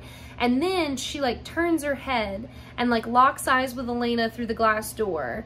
And it's definitely a goodbye. And then she just like unleashes like a final blast of power and dies. Excuse me? Yeah, I we're all thinking the same thing. I know, absolutely ridiculous. So Bonnie's dead and Elena and Stefan, because she dies, the doors open and they come running in and Stefan's like, I can't do anything for her. She's already gone, Elena. I'm so sorry. Elena's sobbing hysterically, holding Bonnie's body. And then Damon shows up and he's like, okay, I'm gonna have to get deal with this, I guess. Like, I cannot believe she wasn't strong enough. This is ridiculous. And he's super annoyed. And Elena is like, don't talk about her like it's not Bonnie, okay? You have to be gentle with her. And Damon's like, Stefan, just get her out of here because I have to clean this up. So then he takes Bonnie, but he's like actually really gentle with her because we know that Damon lashes out when he's hurt. So he's upset that Bonnie's dead. So he picks her up and he takes her to his car while Stefan and Elena leave. And then Jeremy shows up next to Damon's car and he's like, what happened? What happened? I got your call. Where's Bonnie? What's going on? And Damon just like shuts the trunk and he's just like, oh kid, we need to have a little talk. Don't make me watch that. I don't want to see him tell that to Jeremy. Don't worry, they hard cut away from it. Cut to the Salvatore house where Elena is just like absolutely wrecked over this whole situation. She's devastated and Damon comes home and she starts yelling at him. She's like, I can't believe you. This is your fault. You don't even care that she's gone. And Damon is like, calm down and be quiet and listen to me. And then he starts like voice over telling us what's happening while we see Jeremy at the witch burning house like lighting some candles, okay? So Damon explains that the only way Klaus was gonna stop his plan of killing Bonnie was to think that Bonnie was dead. So Bonnie did a spell where when she did that big show of like using all her power, she like faked her own death and they couldn't tell anybody because it needed to look real. So Elena needed to really be heartbroken. Anybody on Klaus's team needed to think that Bonnie Bennett was dead. So Damon took her body away and all of that. So then we see Bonnie with Jeremy in the house and like, yeah, she's gonna be okay. He's lighting the candles and like making her comfortable and all of this and they're just waiting for her to wake back up. Elena is like, oh my God, thank God. Okay, I understand. It's fine. That's fine. Stefan is like, Damon, I can't believe you didn't tell me. Like, we could have done that together. I would have been okay with that. And Damon's like, yeah, I don't think you would have, brother, because you are never willing to do the hard stuff. You're never willing to make Elena mad at you if it will save her. And I'm willing to do that. I'm willing to do whatever it takes, and you don't understand that. We get a MiFi product placement at Bonnie's haunted house. She wakes up and Jeremy um, sets up the computer for her so that she can talk to Elena. They have a really sweet conversation where Elena's like, I forgive you, it's okay. And Bonnie explains that it just happened so quickly that there wasn't time to tell Stefan and Elena safely, so they just had to do it. And she's so sorry that she put Elena through that. And Elena's like, it's okay, it's okay, I understand. Elena goes to Damon and he expects her to like yell at him some more, but she actually ends up forgiving him and being like, I understand why you did what you did, but I'm telling you right now that Bonnie cannot die for me. So we have to figure out another way to do this so that everyone can live. Okay, we have to do it that way. And Damon's like, all right, we'll try to find a way, but I need you to know right now that I'm always going to pick you over anybody else. And it gets really intense for a second. And like, as she goes to move away, she gives like a weird side eye to his bed. It's a, it's a moment. Something, something happens. It's a little weird, but something happens. So Elena leaves the room and show of hands, do you guys think she goes to bed? Or like literally anything but going down to the cellar and yeeting the knife out of Elijah and sitting beside him to wait for him to wake up? Hello? Oh, you didn't see that coming? End of episode.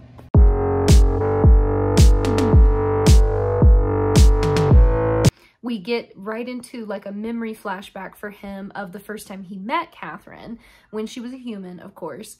And it's very obvious that like from the jump, he was like smitten with her. Like immediately he thought she was beautiful and was like totally into her. Back in the house with Elena, he starts to suffocate because he's not been invited in since she bought the deed to the house, so he can't be in the house.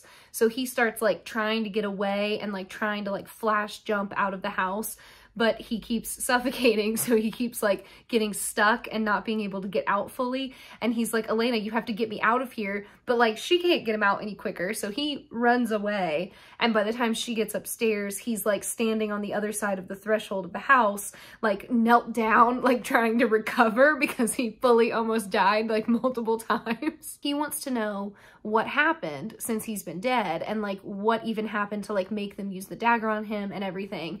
And then he, she's like, okay, I'll tell you, but I can't tell you here because Stefan and Damon are still in the house. And he's like, well, then how do I know I can trust you? And she just like hands him over the dagger and he takes the dagger from her. And then she goes with him, y'all. She's she's crazy. Like I I am an Elijah girly and I do not trust him. I just do not, okay? But she does, so she goes with him. Andie Star, you know, Damon's girlfriend, in case you forgot, is over again. And Stefan kind of gives him a hard time about like using so much compulsion on Andie, but Andie doesn't seem to mind because Damon's compulsed her into not minding. So that's irrelevant how she feels about it. She doesn't know how she feels about it. Um, and then Stefan's like, oh, I thought Elena was with you. Where's Elena? And they can't find her. And then they realize that Elijah's body is also gone. So the boys enter full panic mode. Klaus sends his witch off to get his body. And then he tells Caroline that now that Bonnie's dead, he's got pretty much everything he needs for the ritual. You know, he has Elena, he has the moonstone. He just needs to get a vampire and a werewolf and he's all set. And he's like, also, it has to happen here in Mystic Falls because this is like Elena's birthplace, which you would know if you wouldn't have run off from me before I could tell you everything about the sacrifice sacrifice, you big dumb dummy. But that's why I did know where your birthplace was and that's why I killed your whole family. Elena and Elijah are in the car together and she like fully wants to work with him again. Stefan calls and is like, what are you doing? Are you with Elijah? You can't trust him. And she's like, yes, I can. Elijah is a noble man and he's very honorable as long as and as long as I do what I say I'm going to do, he'll do what he says he's going to do and it'll all be fine. You just have to trust me.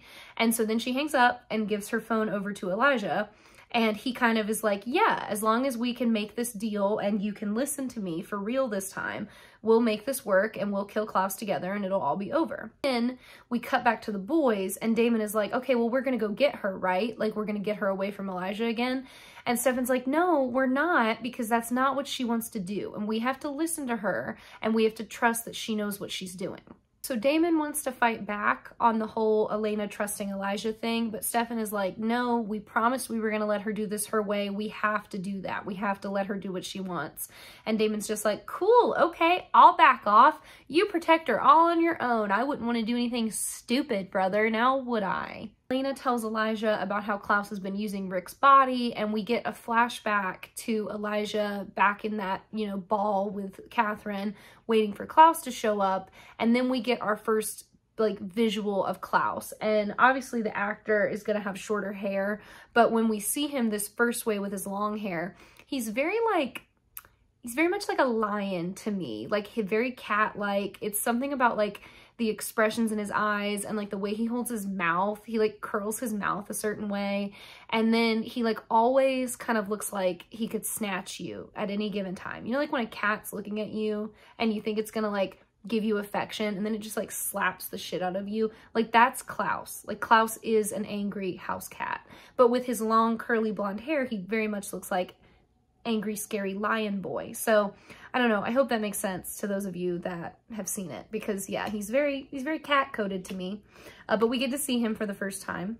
Elijah then takes Elena to the Lockwood house because he got the mayor's wife off Vervain. Her name is Carol, by the way. I should probably start calling her that instead of just the mayor's wife since the mayor is dead. Um, so Carol Lockwood is um, helping Elijah inadvertently because he got her off Vervain. So now he can use her house and like the things she has. So she helps him find some of the mayor's old clothing and then gets him all cleaned up and stuff. Jenna comes home and calls Stefan and she's like, where is everybody? Why won't anybody answer their phone? I have all these weird messages from Elena about like not talking to Rick, what's going on? And Stefan's like, okay, just stay right there, stay right there, don't do anything. Um, I'll come to you, I'll be there in just a second. And he runs off to help Jenna because they're all terrified that now that Jenna's back home, something bad's gonna happen to her. we get such a funny moment where Klaus explains that he doesn't think Katherine is going to um, be dead because he's like, Klaus isn't going to kill her. Klaus is going to like make her pay. And, you know, speaking of that, I also want to make her pay. Like I, I'm mad at her for my own personal reasons. And then Elena's kind of like, you seem to know like a lot about Klaus. And he's like, well, yeah, Klaus and I are brothers. Yeah. And then Elijah, Elena's looking at him the way you're all looking at me right now. And then Elijah just goes, I believe the term you're looking for is OMG. I just love him. So yeah, Klaus and Elijah are brothers. So that seems awesome. It seems like we don't have another set of brothers that have never been able to actually kill each other before. Oh. Damon and Andie go to Rick's apartment where Katherine is still being kept and Andie can go inside but Damon can't. He wants to talk to her a little bit about everything that's going on and then he gives her a bottle of Vervain so that she can start taking it and fight Klaus's compulsion. Stefan gets to the house to save Jenna Klaus is already inside. Danger, danger. Jenna knows something's wrong with Rick, but she can't figure out what it is, and she's just kind of confused because everybody was already lying to her, and now it seems like Rick is like scary demon guy, but Stefan can't tell her what's going on, so it's just a confusing mess at the Gilbert house. Elijah tells us that his parents had seven children, so he has six other siblings. So Klaus, Elijah, and then there's four more. And basically he's like, we're the original family. We're like the first vampires that were ever created. And we're where all the other vampires come from. And then when Elena goes to ask him more questions, he seems to get kind of like, not choked up, but it's just like clearly hard for him to talk about and then he's immediately like I need to go get some air. I'll be back in a second. He just leaves. Klaus starts making dinner really creepily in the kitchen and he's using a really sharp knife and talking about how much he loves using really sharp knives. And Jenna's just like I hate this. I want you to leave. And then Rick launches into explaining about vampires and how he's super obsessed with vampires. And he was keeping that from her, but now he wants to tell her everything. And he just tells her about the vampires and the werewolves and the Aztec curse and basically everything. Like he just info dumps all of this stuff onto her until she finally snaps and she's like, get out of my house. This is insane. I want you to leave. So Jenna tries to make Rick leave and then when he refuses, she goes to leave instead and she's like, screw you, I'll just go. And then he goes to attack her, so Stefan attacks him and Jenna is like, what is going on? Don't hurt Rick. And Stefan's like, Jenna, just get out of the house.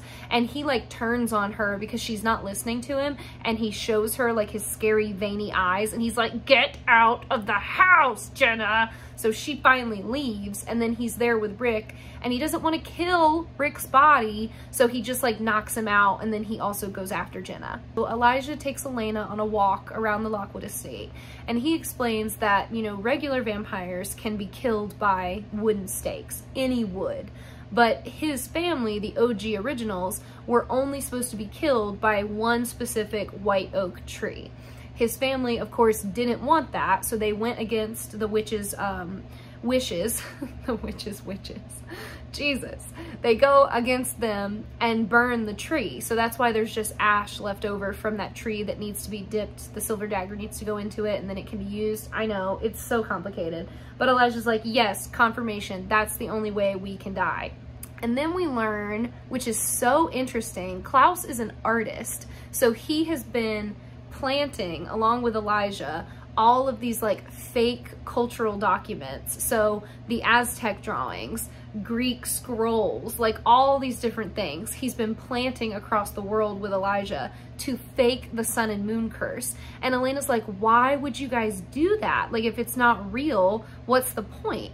And he's like, well, we needed the moonstone for the actual curse on Klaus. So we just planted all of this across cultures so that the entire world's population of vampires and werewolves would be fighting each other and looking for these ingredients that we need, which is like kind of genius. So before Elijah can tell us what the curse on Klaus is that's like actually worse than the sun and moon curse, Elena gets a call that Jenna now knows everything and she's like, Elijah, I have to go to her. She's my family. I have to make sure she's okay. I promise I'll come back. And because she gives her word and she's told the truth so far, Elijah's kind of like, that doesn't mean anything to me until you prove it. So I hope you come back. And she's like, I will, I swear I'll be right back. So she runs off to go see Jenna. We flash back to Elijah and Katherine playing tag in the woods. If you'll remember, she also used to play tag with Damon, so that's like a creepy thing she does with the boys she's toying with. So it's very clear that Elijah is falling for her pretty quickly, and she honestly seems to be kind of interested in him too especially because she's supposed to be there with Klaus. She's like staying at the estate to be with Klaus, but he's like always gone and he's not super interested in her because like romantically, he could care less. He literally just wants her for the ritual that they haven't told her about yet. Whereas Elijah is kind of actually falling for her because he's getting to know her and like taking the time to enjoy her company, which is something that Klaus is like not even bothered to do. So her and Elijah end up talking about love and relationships. And she's like, you know, it's awesome that Klaus is a wealthy lord and I'll be protected, but I just thought I would have more.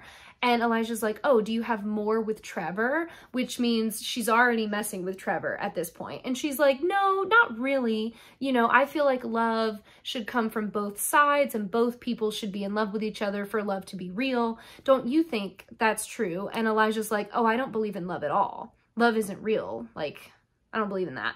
And Katherine's like, oh, that's horrible. Like, I absolutely can't go through life not believing in love. That would be terrible. What would be the point of being alive if we didn't believe in love? Girl, girl. So then Klaus shows up before Elijah can say anything and just like scoops Katherine up and takes her away and he's covered in blood and they play it off as being like, oh, there was a bar fight last night. Like, haha, the, the noble that messed with me won't be messing with me again. And Elijah just watches Klaus take Katherine away and he's like pining. And Jenna ends up having like a little cry with Elena because she realizes that everyone knew and she's just mortified that it was just her that was kept in the dark. And then we kind of fade out of the living room and see Stefan listening from the doorway and he's also crying because he's just so sensitive. After that, Elena wants to go back to Elijah because she promised him she'd come back and Stefan is kind of like, are you sure that's what you want to do? Like, I don't know if it's safe. And Elena insists that that's what needs to happen and that's what she's going to have to do. So Stefan lets her go. Damon tries to step in and stop it from happening, but ultimately Stefan ends up being like, we have to let her do what she wants. She wants to go. We have to let her go. Big stretch. He did a big stretch. Okay, sorry. So Katherine finds the booze at Rick's and starts having a little dance party with herself. And then um, Klaus comes home and very quickly like gets annoyed with her and uses compulsion on her to like make her sit down and be quiet. And then the witch comes home followed by like all his luggage. And then Greta, the missing Martin girl that's been um, talked about, but we haven't seen her yet and she seems really excited to see Klaus. She like walks into the room and she's like, hello, love, I missed you. Are you ready to get back into your normal body? And he's like, oh, you know it. Very creepy, hate that. Elena goes back to Elijah and he's super happy that she came home and kept her word. So now he kind of knows he can trust her for sure. So they go back to talking about his family and like the family history and stuff. Elijah explains that their father was a hard man and growing up he was always like kind of extra mean to Klaus and as they got older they realized why which was that Klaus's dad is not Elijah's father so his mom had an affair and um, Klaus is the youngest so it was like the last child is like not the father's child so when the dad found out, he freaked out and went and killed the guy and the guy's entire bloodline. And he tells Elena that like that started a war that's like never ended between the species. And Elena's like, what are you talking about? And Elijah's like, oh, well, Klaus's dad is actually a werewolf. So Klaus is both a vampire and a werewolf, but that would make him too powerful. So the witches that were connected to the family that had helped them become vampires, um, like put away his werewolf side and made it so that he could only be a vampire. So the curse of the sun and moon is actually just Klaus's curse that he's been trying to break his whole life so that he could awaken his werewolf side and become both and be like a true hybrid between the species. And Elijah's like, we can't let that happen because as a vampire, he is bad enough. He cannot be both. Then we find out the truth, which is that um, when the doppelganger dies, when the doppelganger dies and the ritual is complete, Klaus will transform, he'll turn into a werewolf for his first time, and that will be his most vulnerable state because we know transition's like a really dangerous time for the werewolves. So that's when Elijah is planning on killing him. But he also says, I know how to keep you from dying. I figured out a way, and y'all just wouldn't trust me long enough for me to tell you last time, you big dummies. Andie tries to get closer to Damon to help him and he like pushes her away and then he like immediately gets in a fight with Stefan about still wanting Elena and doesn't that annoy Stefan and doesn't he just want to fight him over it?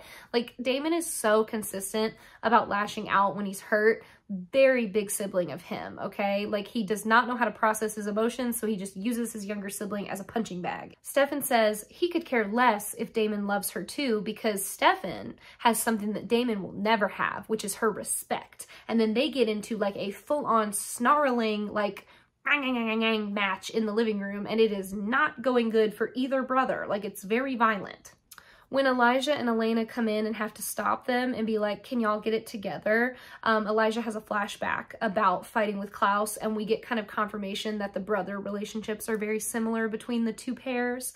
And then Elijah basically says, you know, I will forget everything that happened. We can move on as planned with me protecting Elena and we can all be a part of the same team as long as you guys will apologize to me. Stefan immediately apologizes and is like, I was just, you know, doing what I thought was right. And this is the moment where if you've seen this audio on TikTok, he's like, I was protecting Elena.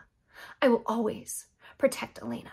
And then Elijah's like, yes, I understand. I respect that. You got it. Damon is basically just like, F you. I will not be saying thank you to anybody. I will not be apologizing. I will not collect go. I will be going straight to jail. Goodbye. And he just leaves the room. Stefan apologizes for him and he's like, he's just mad at me. He's taking it out on me. He'll get over it. And Elijah is like, hmm, we'll see about that, which is just like so telling because it's kind of like in that moment, Stefan and Klaus are the same and Elijah and Damon are the same and Elijah doesn't plan on ever forgiving Klaus for what he did to him. Andie did not leave when uh, Damon told her to. So she's in his room waiting for him. And when he comes in, he's like, can you get out of here? Because I am like this close to snapping. And when I snap, I hurt people. And I told you to leave because I didn't want to hurt you. And she's like, Damon, you need to know people care about you. You need to know you're not alone in this. You need people around you that love you. And she doesn't really love him. So that doesn't work. And he just like lashes out again and attacks her. But then she starts crying and so he feels bad and he does the whole thing where he's like, oh my God, just leave before I hurt you again. I told you to leave. And it's a weird, weird, weird, bad, terrible red flag way to show character growth, but it is the way they chose to do it, okay? Because Andie goes to leave, and when she turns back to look at him, he's like crying on the floor because he realizes what he did to her and that it was wrong and that he doesn't want to do that anymore. But like he shouldn't have done it to begin with. I know it, you know it, we all know it the witches do a spell back at Rick's apartment to put Klaus back in his body. So Rick like becomes himself again and sees Katherine and is like, Elena, and then passes out. And Katherine's like, yikes. And then the coffin opens up and out steps Klaus and it it's incredible. So this is what he looks like in modern times. Remember how I said his hair was going to be shorter? So this is him. This is our baby boy Klaus. Um, I, okay. I love Klaus as a villain. He's probably, he's like one of my top three favorite villains of the show, but he is a villain. He is a villain. So even if later on I say anything else about him, those of you that know, you probably know the scene I'm talking about. Even if I say anything else about him, just know that I know in my heart this man is evil, even though I know I'm gonna contradict myself. Anyway, next episode.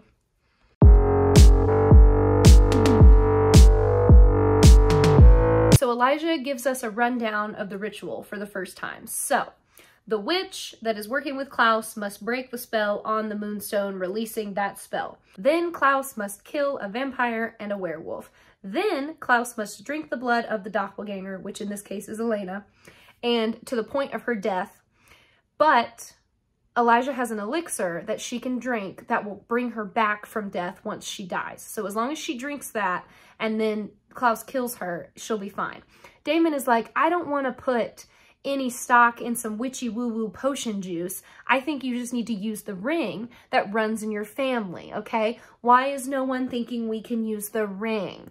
And, you know, it's never really explained why that's a bad idea, but Stefan's basically like, we need to let Elena make her own choices. But up until this point, nobody's really talked about the fact that Klaus is a creature so if she's wearing the ring and Klaus kills her, theoretically, she should come back. Cut to Carol calling Tyler and being like, Tyler, where are you? I don't know where you are, but I've had a terrible accident and I need you to come home and see me because I'm really hurt.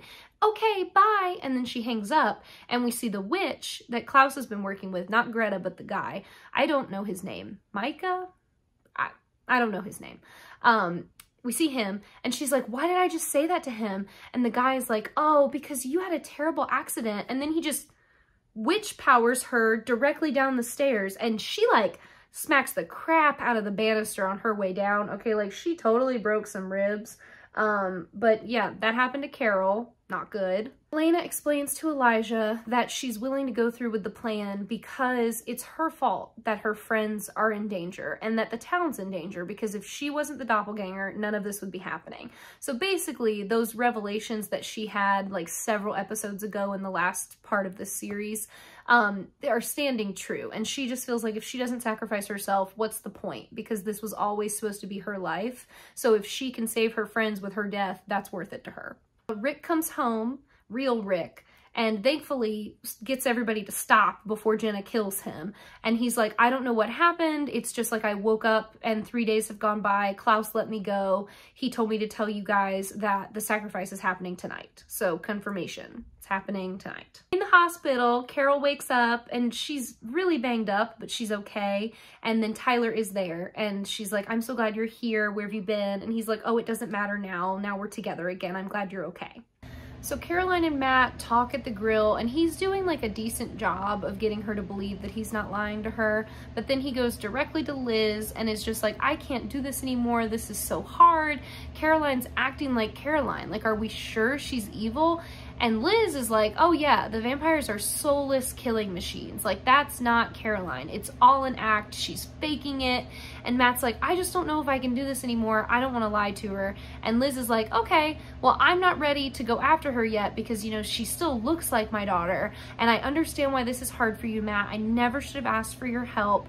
It's okay. You can go ahead and be done with this. So she just dismisses Matt from the whole situation. So Elena tries to talk to Damon and he's just so petulant and annoyed that no one will listen to him and try to find another way to save her. And she tries to explain what she explained to Elijah, which is like, this is her choice. This is what she wants to do. He needs to let her make her own decisions. And Damon's like, I just don't think I can do that because it's so unfair. This is not what is best for you. Like, you need to let me decide that. they have a cute moment where they're like holding hands and he's like, I can't lose you. And she's like, you're not going to. Elijah's plan is gonna work and I'm gonna be fine, okay? It's gonna be okay. And then Damon snaps and is like, actually, I know of the perfect way to keep you safe. And he forces her to drink his blood, which means that when she dies in the ritual, she will wake up for sure, but she will wake up as a vampire. Stefan enters the room and is horrified by what Damon's done. And Damon's like, oh, don't act like you wouldn't have done that too. You're just upset because you didn't think of it sooner and you weren't willing to do it. So the boys get into like an all-out brawl that only ends when Damon stabs Stefan in the stomach. I think with like part of his bedpost, like he just yeets the bed apart and stabs Stefan. Rick shows up and gets involved and gets Damon out of the room and then they help Stefan and all he can do is like apologize to Elena. Like he's so upset that this happened to her. And then we cut to Damon and Elijah and Elijah is like, you just couldn't leave well enough alone, could you, you big freaking idiot because now the elixir that I have won't work. oh my god, he's so annoyed. And then um, Damon is like, what do you mean? And then he tells Damon that Elena will never forgive him, so he hopes that it was worth it because it's all over for him and Elena from now on. Elena can't grapple with the fact that uh, Damon did this to her and she's devastated. And Stefan like listens to her, but then like very quickly just turns the conversation to like them and their future together and how this actually makes some things easier, doesn't Elena? And she's so horrified that she's like, Stefan, now is not the time to think about me and you being together for all of eternity, okay? Um, Caroline runs into Tyler as he's leaving town again and he's like, yeah, my mom's okay. So I'm going to go ahead and go. I need to go back to, you know, this place that I've been staying at where I'm not going to tell you because I, I don't know if we can trust each other. Ha ha ha. And then before she can be like, Tyler, like get it together. Of course we're okay. Everything's fine. I'm glad it's good to see you. Um, the witches attack and kidnap Caroline and Tyler. Get Rick and Damon bonding time at the bar, which is like some of my favorite stuff. And then Klaus shows up. Like, I am not joking.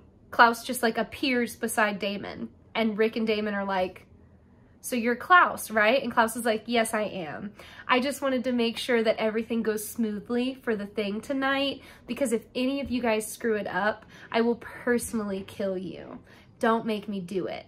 When he leaves, Rick is like, oh, Damon, you're gonna screw it up, aren't you? And Damon's like, yep, and you're gonna help me, Rick, because we're best friends. Stefan takes Elena on a fun waterfall hike because he is trying to get her to open up about the fact that this has happened to her and how she's feeling and process her emotions. And it's just too much for her. So she's like, let's just walk the hill, okay? We'll just do the hike and I don't need to talk to you about anything else. Damon and Rick go to Rick's apartment to talk to Katherine, and Damon's basically like, tell me where the werewolf's being kept because we need to help you get out of this. We're gonna kidnap the werewolf and then Klaus won't be able to do his ritual.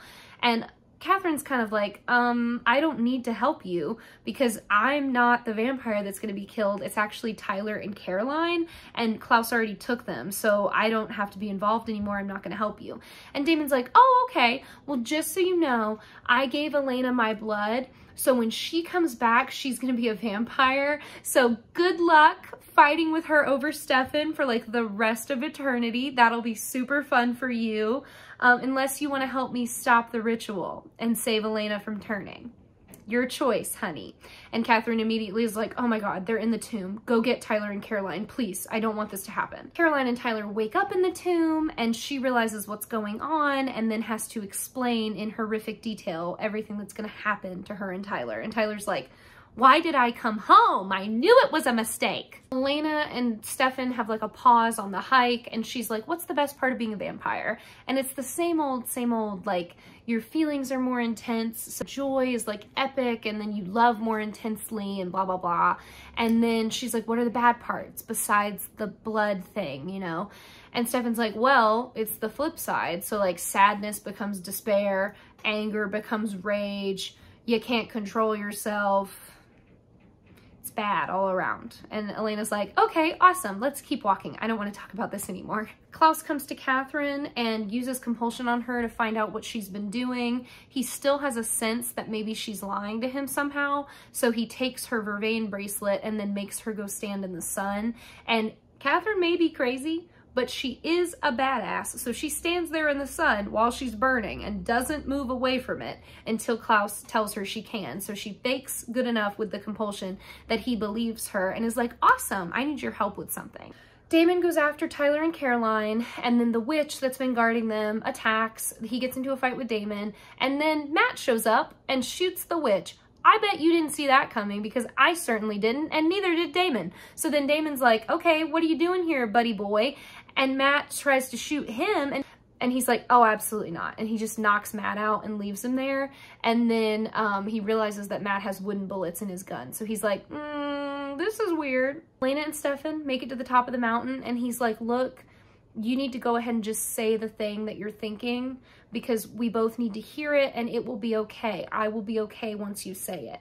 And she's like, no, I can't. And then she goes on this big ramble about how, um, like she feels like she's been betrayed and she'll never get to make her own choices about growing up and growing older and having kids and staying with Stefan or not staying with Stefan. Like it's all been decided for her now. Stefan's like, I know. And I never brought it up as an option because I knew if it was one, you would have told me. So I know already. It's okay. And Elena admits that she never wanted to be a vampire and she would never have chosen to be one, which is kind of a lot because it means, to me at least, it means that she knew she was never going to stay with Stefan forever.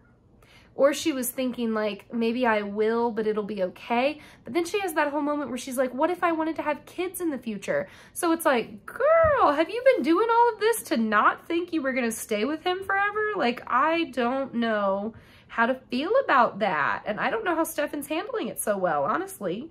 Damon breaks Tyler and Caroline out of the tomb, but Tyler starts to turn. He's got a little bit more control over it now, so he's kind of like, it's okay, we can get out, but we need to hurry. We need to get me to my house so that I can lock myself up and then I'll be safe there and I won't be able to get to any of you. When Stefan and Elena get home, Klaus is waiting for them and Stefan tries to like fight back and tell her not to go, but Elena insists. She's like, I have to go with him willingly. Nobody needs to get hurt. It'll be okay. They say, I love you. And then she tells him to close his eyes so that he doesn't have to watch as Klaus like grabs her and takes her away. Stefan calls Damon immediately and Damon's like, it's all good. I got Tyler and Caroline. They're out of there. No ritual to be had. And Stefan's like, no, you don't understand. He got Elena. Like Elena's gone. Klaus took her already. This is code red, brother. And Damon's like, oh God, okay, I will take care of it. But what is he gonna do? Where's he gonna go? He doesn't know where they are. Tyler starts to turn at that exact moment, like perfect timing, Wolf Boy. So he starts snapping at um, Caroline and Damon, and Matt's like, whoa, what do we do? And they're like, it's okay, it's gonna be fine. Damon gets like jumped on, and Tyler's like snapping at him and all of this, and Damon's like, no, oh my God, and he throws him off, and then he's like, Caroline, take Matt and go that way. I'm going this way. We gotta split up. We'll meet back together in a little bit. Just get away from Tyler. So they all run off in multiple directions, and Tyler is just still turning into a wolf. Klaus goes to Katherine and opens up a laptop that shows who we can kind of assume is Jules. It's not like a super clear video, but it's like a blonde werewolf turning, so it's probably Jules. So he's got her somewhere locked up safe. And then Damon shows up and is like, I'd let go of your werewolf and your vampire and now you can't do anything. Like now your ritual's over, ha ha ha. You can go ahead and kill me. And Klaus is like, um, mm-mm, no, actually, did you think I wouldn't have a backup plan? You big dumb idiot. Look at this. I have Jules. I will be killing her. I have a backup.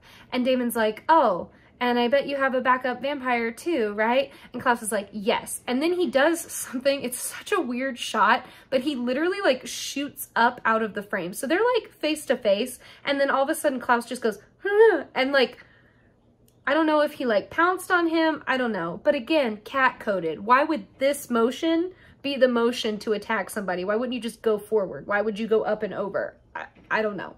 Matt and Caroline barricade themselves in the Lockwood cellar to keep safe from Tyler. Um, he ends up breaking in anyway, but at least they're inside the cage, so he theoretically can't get to them. But Caroline is the one holding the cage closed, so he could bite her hands, and that could prove to be really problematic. Katherine wakes Damon up and is like, I'm so sorry. She made me call her. Like, I couldn't not do it because then he would know I wasn't under compulsion and then I would be in danger. But I am so sorry. I swear I didn't mean to. I would, didn't want to, blah, blah, blah. And Damon's like, what are you talking about, Katherine? Who did you call? What is going on? Cut to Elena in the woods with Greta trying to get Greta to understand that like what she's doing with Klaus is wrong, but Greta is like full crazy witch mode and like does not care. She thinks Elena just needs to hush and she basically is just like, you don't understand what we're doing. Um, it's not even your point to understand, just don't worry about it. Then she turns on like witch fire so that Elena can see around her and we see Jenna on the ground and Elena runs to her and she's like, why is Jenna dead? What happened? I did everything he said. Like, why would he kill her? Girl, he didn't kill her. Then Jenna wakes up and we realize that Jenna is the replacement backup vampire. We cut back to Damon, who doesn't understand why Klaus even needed Jenna because he offered himself up as the replacement vampire. And Katherine's like, he wouldn't take you, Damon. He said you were as good as dead. And Damon's like, why would he think that? What do you mean? And Katherine's like, what is this? And like pulls up his sleeve and there's a freaking werewolf bite. So Damon's been bitten, guys. Like, what? So when Tyler jumped on him earlier in the woods, he bit Damon, okay? And it, yeah, and Caroline kind of knew because like Tyler was like, and it made like a snapping sound. And then when like Damon threw him off, Caroline was like, Damon? And Damon was like, I'm fine, don't worry about it. So she kind of noticed because of course she did. Our type A queen notices everything. Um, but yeah, Damon's been bitten and there is no cure, so Damon's going to die.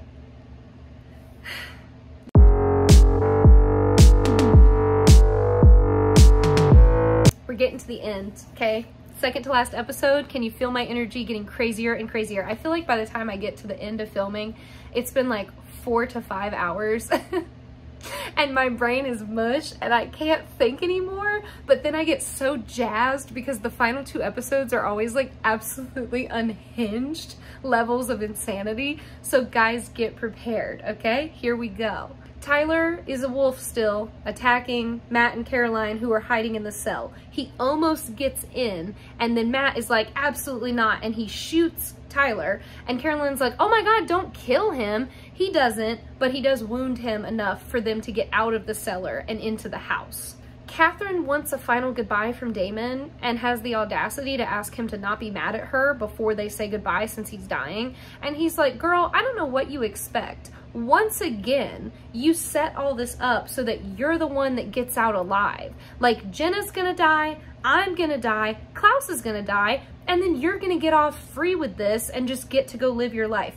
Enjoy an eternity alone, Katherine. Jenna starts going through transition and Elena tries to talk her through it and kind of explains what's going on a little bit. But then Greta shows up and forcibly separates them. She offers Jenna her blood and because Jenna's in transition, she can't refuse. So Jenna becomes a full vampire back to Jeremy and Bonnie, who have apparently been in the haunted witch house this whole time, frantically looking through the grimoires to find a spell that will keep Elena from turning into a vampire when she dies. Greta brings Jules to the circle of Jenna and Elena and Jules is like not a wolf yet and she can't figure out why and Greta says that she put a spell on her to slow down her transition so Jules's body is literally like trying to rip itself apart and Greta seems to like enjoy that she did that with her power. So this is kind of one of the first times we see like a true like dark witch who's like really using her magic for evil and is like really twisted. And I think it's a really cool comparison between her and Bonnie. So we'll get back to that later. But yeah, Greta, big, bad, evil, scary witch lady.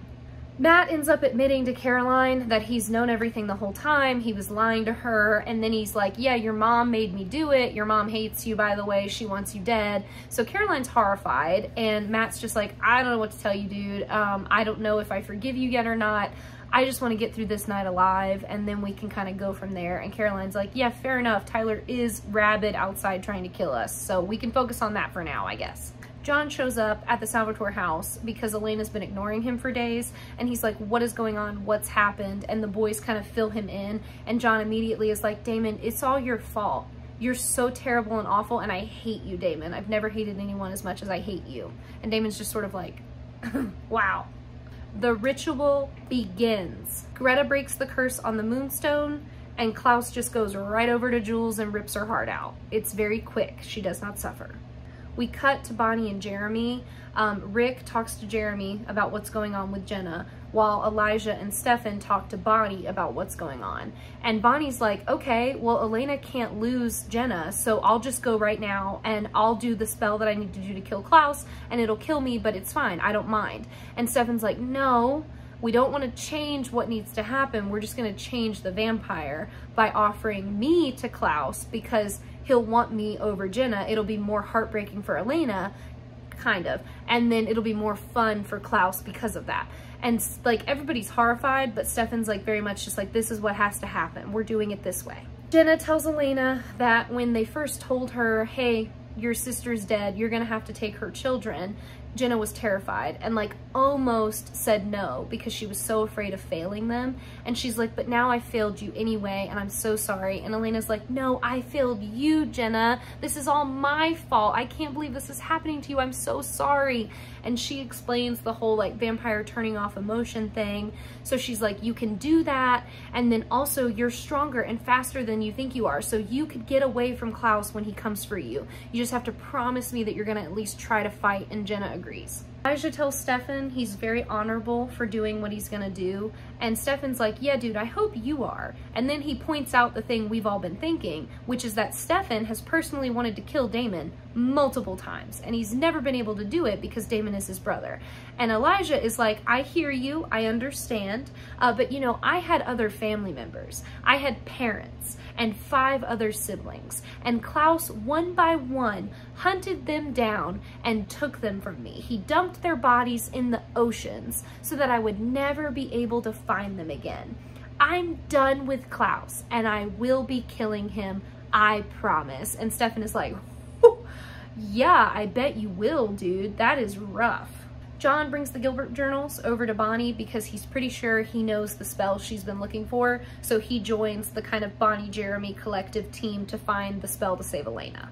Damon freaks out that Stefan is gonna give himself up and tries to frantically think of another way. There isn't another way, so Stefan just goes to Klaus before anybody can stop him and they start talking. So John's spell is basically based off a story where it's a little convoluted, but there was a mother and a baby and the baby was sick and the mother was looking for a way to save the baby. So basically the baby died and the mother offered her soul to like go through the baby and keep the baby alive and the baby lived.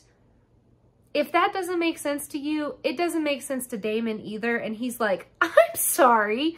You'd like to hang Elena's life on a leap of freaking faith. I think not. And John is like, Damon, you're not understanding. Souls are like the part of like humans that die when they become vampires. So if Elena's soul remains intact, then she'll come back as a human and not a vampire. It's so dumb because once again, they try to make this argument that like vampires are soulless and evil. For the most part, vampires are not like that. So I don't really get it here either, but that's John's plan. Jenna listens in on um, Klaus and Stefan talking and realizes what they're trying to do.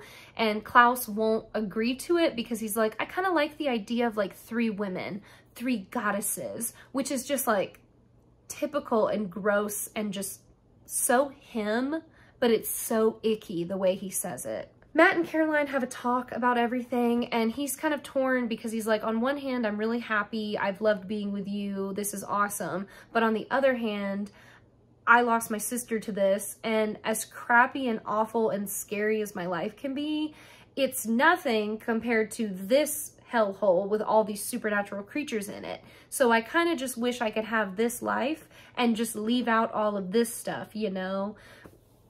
I don't know if I agree, Matt, but I hear where you're coming from. You just really want to be normal. And, you know, we got to respect that about you if that's what you really want.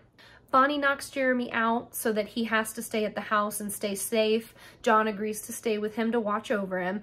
And then when Rick, Bonnie, and Damon try to leave with Elijah, Rick also gets stuck in the house. And Bonnie and Damon are kind of like, haha, sorry, Rick, we can't lose you either. You will have to stay inside. Back at the ritual, uh, Klaus initially is like, go ahead and pick, Elena. Which one of them do you want to die? And Elena can't do it. So then Klaus is like, oh, you know, don't worry, there's not a choice. And he like beats Stefan until Stefan's unconscious. And he's like, I need this one for something else. So there was never an option to pick him. Then he goes after Jenna. And this is like a truly terrible, horrible, awful, terrible, terrible, terrible scene. It is the worst. Basically, Greta brings the wall of fire down. And then Jenna runs at Greta and tries to kill her. But she's not quick enough. And she only bites her and hurts her. She doesn't die. So then Klaus grabs Jenna and attacks her. And Jenna and Elena end up looking at each other. And Elena is like, turn it off, Jenna. Turn it off and you won't be scared. You won't die scared. It's okay. So then Jenna like looks back up at Klaus and we kind of see like the emotions leave her face. And then he freaking stabs her with a stake, guys. And Aunt Jenna dies.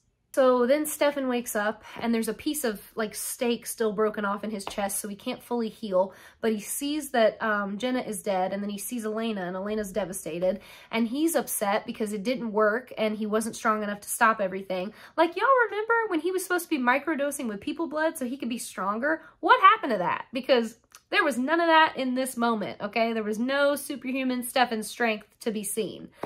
But yeah, basically Elena is just like devoid of all emotions except for rage. And then Klaus goes to get her because it's time for that part of the ritual. And then Stefan has to watch as Elena is drained until she dies. And then Klaus drops her and starts going through transition. So Klaus goes all freaky demon boy as he starts to transition for the first time.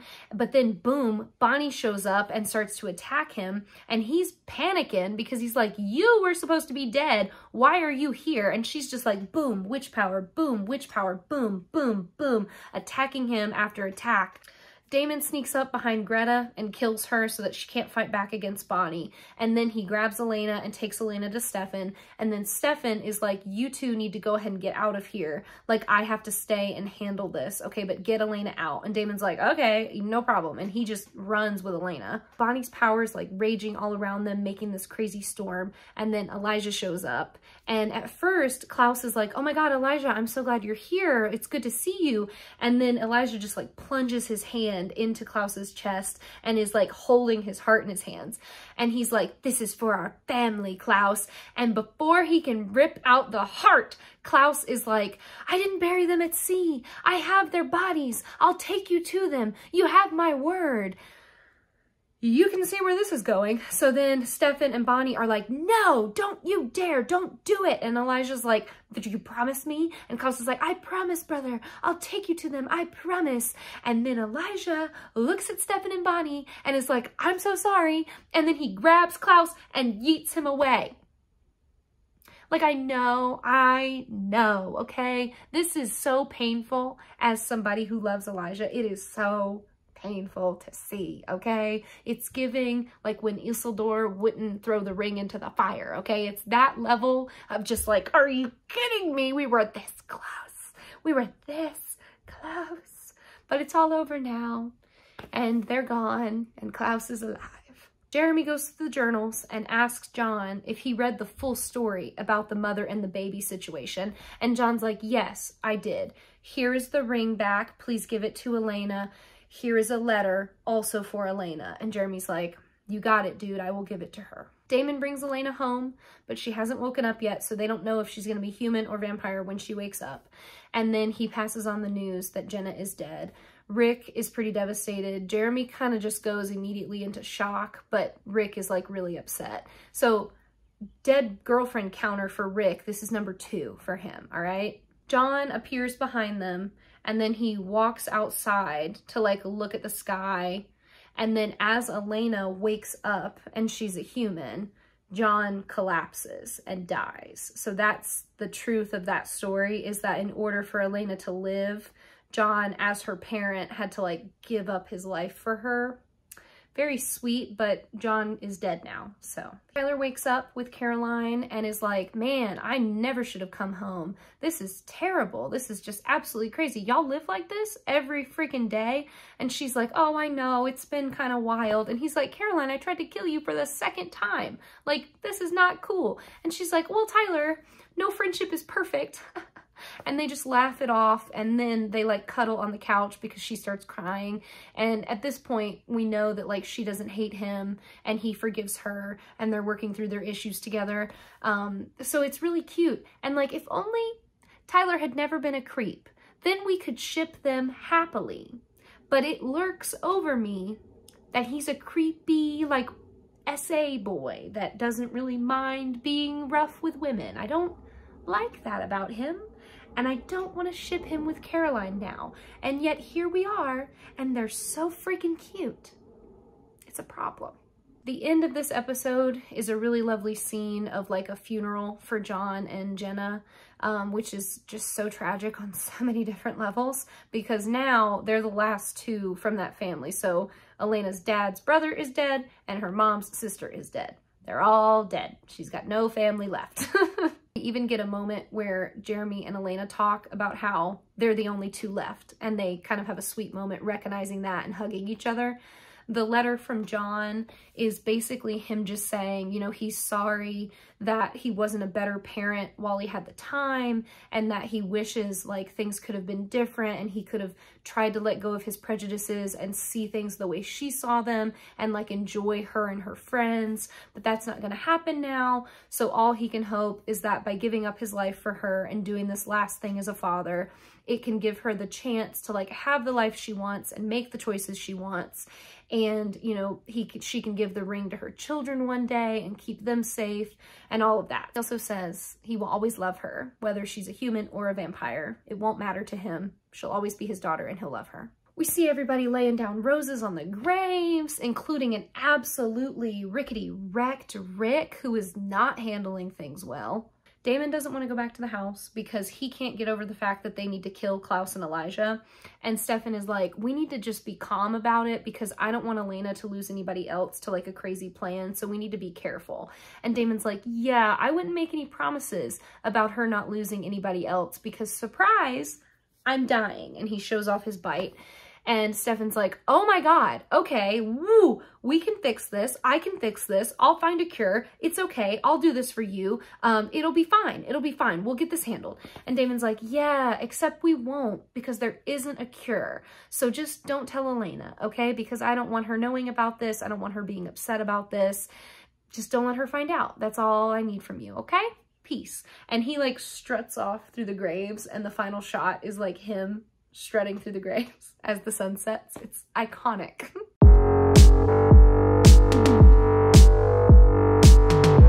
last episode opens with um, Elena going into Jenna's room, trying to kind of go through her stuff, and then she panics and can't do it and shuts the door. She runs into Damon in the hallway, and he's like, that'll get easier, you know, but of course you know that already. And she's like, what do you want, Damon? Like, just cut to the chase. So he apologizes and he's like, I know that I don't deserve your forgiveness, but I really need it, Elena. And she's like, you know what I need, Damon? Time, okay? I need time. I don't know if I'm going to be able to forgive you or not. And Damon's like, okay, yeah, absolutely. Take all the time you need, even though he's dying and there is no time left. Damon goes home and has a drink and enjoys the sun on his face. And then he takes his ring off and he drops it on the floor and he starts to freaking barbecue himself. So Stefan comes home before he can combust into flames and is like, you don't get to do this. Oh my God, what are you thinking? And Damon's like, I get to do whatever I want, Stefan. There's no cure and you know how sick I'm gonna get. I can't let this happen. Like we're not, I just need to go. And Stefan's like, no, absolutely not. And he locks Damon in the cellar so that he can't hurt himself again. So Klaus wakes up naked in the woods and Elijah is like, yeah, it's been like two days since the full moon. So you killed so many people and you did not turn back out of a wolf form. And Klaus is like, wow, excellent. I remember everything. I can turn at will. That's so cool. I love this for me. And then Elijah's like, okay, you promised, take me to the family. And Klaus is like, I did promise you that. Even though you tried to kill me. Don't worry, brother. I'll take you to them so soon. We just have to do a couple things first. Come with me. And they saunter off together. Stefan calls Rick, who is drowning his sorrows at the grill, just absolutely getting hammered. And he's like, hello, I'm not good for anything except watching my girlfriend die on a fire altar. How are you? And Stefan's like, look, I hear you. I understand you're grieving. Damon has been bitten by a werewolf and code red. We need to help Damon. And Rick is like, yeah, absolutely, I'll be right there. And he just hangs up and goes to help. Elena takes Jeremy to the park to watch Gone with the Wind. That is, in fact, this episode's event. The town is doing a showing of Gone with the Wind. Caroline makes a joke about how it's fitting because they're just like Scarlett and they made it through the fire and now they're on the other side. Atlanta burned, but they're all alive. I mean, girl, a lot of people died in the last episode, but go ahead, make a joke. It's it's fine. Bonnie tries to contact the witches to get help for Damon. Um, her and Stefan go, and even though they don't want Stefan in the house, they respond better to him than Damon, which I think is an absolute joke because Damon is the one that tried to protect Emily Bennett and keep her family line alive, and Stefan is the ex-Ripper who has killed like a countless number of people for fun. Anyway, um, Emily comes through Bonnie during this and is like, yeah, we know how to save him, but we're not going to tell you how. And then she hurts Bonnie to get Bonnie to like not try to use the channeling mechanism again. And Bonnie's like, yeah, I don't know what to tell you, dude. They're not going to tell us anything, but I did hear them say Klaus. I don't know what that means, but maybe Klaus has the cure. And Stefan's like, on it, I will figure it out. Carol goes to Liz and is basically like, get it into gear and kill these vampires before I replace you as sheriff because you're doing a terrible job protecting this town. So Liz is like, okay, no time like the present, I'm gonna have to make a move. Stefan goes to get Elena from the movie night and is basically like, hey, Damon got bitten. Um, I know you're mad at him, but you should really go talk to him just in case we can't find a cure. If there's anything you need to say to him, you need to go and do it. And Elena's like, are you kidding me? I don't even get to stay mad at him for very long because now the idiot is dying. Like, okay, great. So she goes off to Damon and Stefan goes to Klaus to get the cure. Damon goes into like full fever mode and starts hallucinating memories between Katherine and Elena and at one point, he's having like a memory flash of Katherine like clearly toying with him to get him to stay home when he was going to go off and fight in the war. And she even admits that like she's still seeing Stefan, but he shouldn't be jealous because she likes him too. She likes both of them. And that's not a crime. And then Elena comes into the memory and is like, Damon, can't you see that she's toying with you? Like, all you have to do is walk away from her. It was your choice all along to stay, even though she was lying to you. Just walk away, Damon, just walk away. And then he like wakes up and he's, you know, full fever, having a really hard time in the cell. Stefan goes to Katherine. She has been stuck in the cell for two days, waiting for the spell to break and not understanding why Klaus isn't dead. Before she can tell Stefan where Klaus is or isn't, Klaus just shows up at the house with Elijah. And Stefan's like, I need you to help me save Damon because they told me that you have a cure. And Klaus is like, oh my gosh, I'm happy to help your brother. But before I do that, I need to help my brother. And he like leaves the room. And then Elijah is like, I'm so sorry, Stefan. I hope you can understand. Like I did this for my family because I miss them. Like everything I've done has just been for them. And he promised he would take me to them. And before Stefan can say anything, freaking Klaus comes back into the room and just stabs Elijah in the heart. He's like, yeah, brother, I did tell you I would reunite you with them. And then just stabs him. So freaking Elijah's dead again. And this time it's really upsetting because he's like angry. So he dies angry. And Klaus is just like, shh, oh, shh, it's okay, shh. Bitch, I've never been angrier in my life. So then Klaus and Stefan are alone with Katherine and Klaus basically starts playing with Stefan and he starts like stabbing him and stuff. And he's like, you know, I don't think that in this current like weakened state, you're going to be much use to me at all. Um, but maybe we could make a deal if you were the vampire that you used to be, the one I've heard stories about. That's the vampire that I think I could make a deal with. Rick goes to Damon and brings him some booze and Damon kind of immediately starts trying to fight with him through the bars because he wants Rick to kill him. So he like teases him about his wife and all the bad things that Damon's done. And then finally he like grabs Rick through the bars and he's like, Rick, just kill me. And Rick is like, no, you prick, and stabs him in the hand with a vervain needle. So Damon's like, oh no, oh, and he like passes back out. And as he's falling asleep again, he's like, Elena, which is so cute because Rick is like, Elena's not here, Damon, but Elena's pulling up outside. so it's like he sensed her coming. So she's pulling up and then she gets out of the car and she feels like somebody's watching her. Surprise, surprise, it's freaking Liz because as I said, there's no time like the present and she has made her move. So she grabs Elena and kidnaps her and then she goes into the house and tries to attack Damon and Rick is like, please don't go in there. You don't understand. You do not want to go in there. She goes in anyway and Damon escapes. The movie night kind of devolves because now Damon's on the loose, so the team gets called in to look for Damon. The girls try to get Jeremy to stay behind, and he's just like, I don't know what you think this is, but I'm involved now, so I will be looking for Damon too. You cannot stop me. So they all scatter to look for Damon and try to find Elena and Damon and keep them from each other and keep everybody safe. So Klaus basically wants Stefan to become a Ripper again. He's like, if you can do that and prove to me that that's still you and you still have that inside of you, I could make a deal with that person. And Stefan's like, but I don't live my life like that anymore. And like Klaus is like, yeah, okay, cool. Katherine, come here. And Katherine comes over he bites Katherine. She panics because now she has a werewolf bite. And then Klaus just like bites his own wrist and then makes her drink his blood and her bite heals. So Klaus is like, there you go. Now you know that I do in fact have a cure. It's my blood. Would you like to reconsider or is your brother's life not worth it? And Stefan's just like so torn because if he turns back into a Ripper, he's like absolutely gonna lose everything he's worked for, lose Elena, all of that. But if he doesn't, then Damon's gonna die.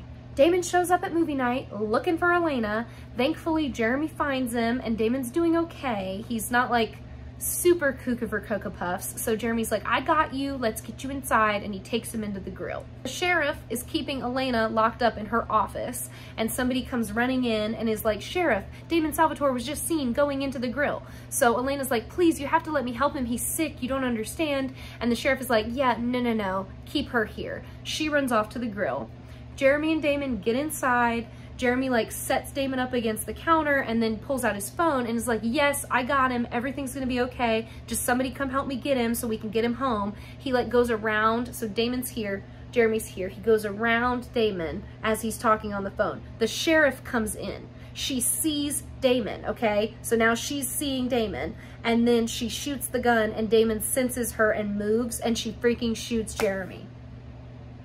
I wish I was kidding, but she just nails him right in the chest. It's horrific. Jeremy's a child, okay? I know he looks like a grown man, but it is so upsetting. And the sheriff panics. She's like, oh my God, oh no, I didn't mean to do that. So she starts trying to help Jeremy, but it is too late because she got him right in the chest. And then Caroline and Bonnie show up and Caroline's like, Mom, what did you do? What in the world? And Bonnie's like, oh my God, give him your blood, Caroline. But he's already gone, so we can't drink it. So then Bonnie's like, I know what I can do. We just have to take him. Rick, because Rick shows up and is upset. And Bonnie's like, Rick, help me carry him out and we'll just, we'll get him. I know where we need to go. And at first Liz is like, uh, you can't move him. This is a crime scene. I killed him. Oh my God. And Caroline's like, mom, enough. You have to let her take him. It's fine. Also, remember just a second ago when I said Caroline gave him her blood? Yeah, her mom was still there. So her mom saw all that happen.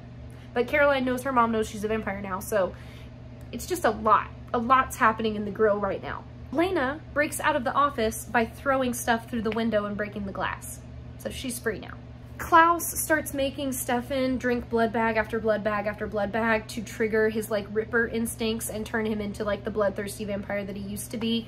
And Stefan does it while Katherine watches in like a weird mix of like horror and fascination. Like it's like she can't decide if she's turned on or not by watching him do this because she loves sweet, gentle Stefan, but she's never really seen crazy ripper Stefan before. So it's intriguing to her. Bonnie takes Jeremy to the witch house and is basically like, can you guys please help me save him? I know we can bring him back. Just please let me save him. And they're angry with her because they just told her to stop abusing the connection that she has to them and stop coming so often. And she's like, girls, I can't control when my life goes to absolute shit, okay? Please, Emily, just help me save him. And it like almost kills her. She's like bleeding, she's crying, she's screaming. But the spell does work and Jeremy wakes up, so he's okay. Damon finds Elena and at first everything is fine, but he keeps having those memory slips where he thinks she's Katherine and he thinks she's Elena and he thinks she's Katherine. So he slips into one where Katherine was like messing with him and was basically like, oh, you want my blood, Damon? Go ahead, you'll have to drink it yourself and then we can be together forever, okay? So Damon, in his like fevered state, sees Elena but he thinks he's looking at Katherine and she's like, whoa, Damon, don't bite me. Don't, don't bite me. I'm Elena. And he's like, but I have to. I have to drink your blood. That's the only way we can be together forever. And she's like, no, Damon. Oh my God, I'm Elena. Don't do it. And then he bites her anyway and it hurts her. So she starts freaking out and she's trying to push him off, but she can't get him off. And she's like, Damon, it's Elena. I'm Elena. You're killing me. I'm Elena. And he like snaps out of it and it's just like, oh my God, Elena, I'm so sorry. And he like collapses so it's very similar to what was happening with Rose, except it's like even more heartbreaking because now it's Damon. The sheriff and Caroline find out that Jeremy is alive and the sheriff is like, oh, thank God, I thought I killed him. And Caroline's like, no, mom, you did. You did kill him. And the sheriff is like, I don't understand what's going on. And Caroline launches into this adorable little mini monologue where she's like, you did once. I told you everything and you understood and you accepted me, but then I took your memories away because I was too afraid and I didn't want like to take that risk and have something go wrong, but I don't want to be afraid anymore, mom, and I don't want you to be afraid of me. And then they hug and then Liz hugs her back and it's oh, it's so emotional and sweet. And they're both crying and it's so sweet. So now we have Mama Liz on our side. She is one of the good guys now. Jeremy calls Bonnie and is like, I feel a little different. I feel a little weird. And she's like, well, sweetie, you were dead, so that's probably normal. I think it's probably all going to be okay. And then they hang up and then Rick comes in and is like, hey, bud, I'm a head out now. You good? And Jeremy's like, oh, yeah. Yeah, no problem. Go ahead and leave. I'm fine. Don't worry about me. And he looks all forlorn and sad. So Rick is like, how about I stay? I could stay. You want me to stay? And Jeremy's like, oh yeah, that would be great. Oh my God, absolutely. You go ahead and stay, Rick. That would be awesome. So it's real cute, but Rick's gonna be like pseudo dad for a little while. Elena cares for Damon. Um, how did she get him home and into bed by herself? No one knows. It doesn't matter. Um, but he keeps telling her to leave because he's like, I'm going to hurt you again. And she's like, no, I'm actually going to just stay until you die because I refuse to leave your side. Um, so everything's going to be fine, okay? You're going to be fine. We're going to get this figured out. And Damon's like, it's really not going to end well, but okay, if you insist he he starts realizing that what she said in the little like memory flash was true. So like it was his choice. It was his choice to stay with Katherine. It was his choice to be angry with Stefan. And he's like, I just always made the wrong choices. And now this is what's happening to me. And I'm just really sorry. And she's just like, shh, and like holding him because he's covered in sweat and very fevered and very sick. It's not going well. He asks her to tell Stefan that he's sorry, and she says that she will. Stefan, meanwhile, has had an insane amount of blood bags and he is like fully feral at this point. So Klaus is like, awesome, dude. I can make a bet with you now and I will go ahead and give Katherine the cure. And Stefan's like, whoa, give Katherine the cure. And Klaus is like, haha, yes. He gives Katherine a bottle and he's like, go ahead and take this to Damon and then come back. And Katherine's like, you want me to leave? And Klaus is like, mm-hmm. And before he can say anything else, she like disappears. So then Stefan is like, no, oh my God, she won't come back. She's on Vervain. And Klaus is literally just like, oops. Very cute scene with Damon and Elena talking as he's dying. He's basically like, um, you know, I know that you love Stefan and I know it's always going to be Stefan, but I love you too. And I just need to know that you know that. And Elena's like, I do. I know. It's okay. And she curls up beside him. And then he's like, you should have met me in 1864. You would have really liked me, which she would have, y'all. She, I want you to think about little sweet human Damon and tell me Elena wouldn't have been all about that. She'd have been like, that's who I want to have children with. That man right there. Anyway, um, Elena sits up and is like, I like you right now. I like you just the way you are, which is true, but it's because she sees the good in him. Okay. So then she gives him like a little kiss, just like a little sweet kiss. And he says, thank you. And she says, you're welcome. And then someone says, it's me you should be thanking since I'm the one with the cure. That's right. Katherine did come. It's Katherine. She's here. And she shows up and gives him the cure and is like, Elena, don't feel bad about loving both of them. You know, I did. And Damon's like, I can't believe you actually brought it to me. And she's like, well, I owed you and now I don't anymore. So no more favors. I will not be helping you again. Do not think that this is going to change anything between us. I am out. I will be saving my own skin from here on out. Goodbye. Klaus locks Elijah up in a coffin with the rest of what we can assume is the family because there's like a little, it's like a big, um, almost like a wooden storage crate.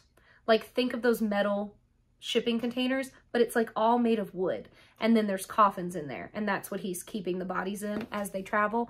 And he tells Stefan, um, you know, you're going to help me find Katherine. Don't worry. We'll handle her. I'm not worried about it. And Stefan's like, what do you really want me to help you with? And Klaus is like, oh, all of that will be told in due time. Don't worry about it. You don't need to know yet. First, I need you to prove to me that you're really serious about our deal because the blood bags were not enough.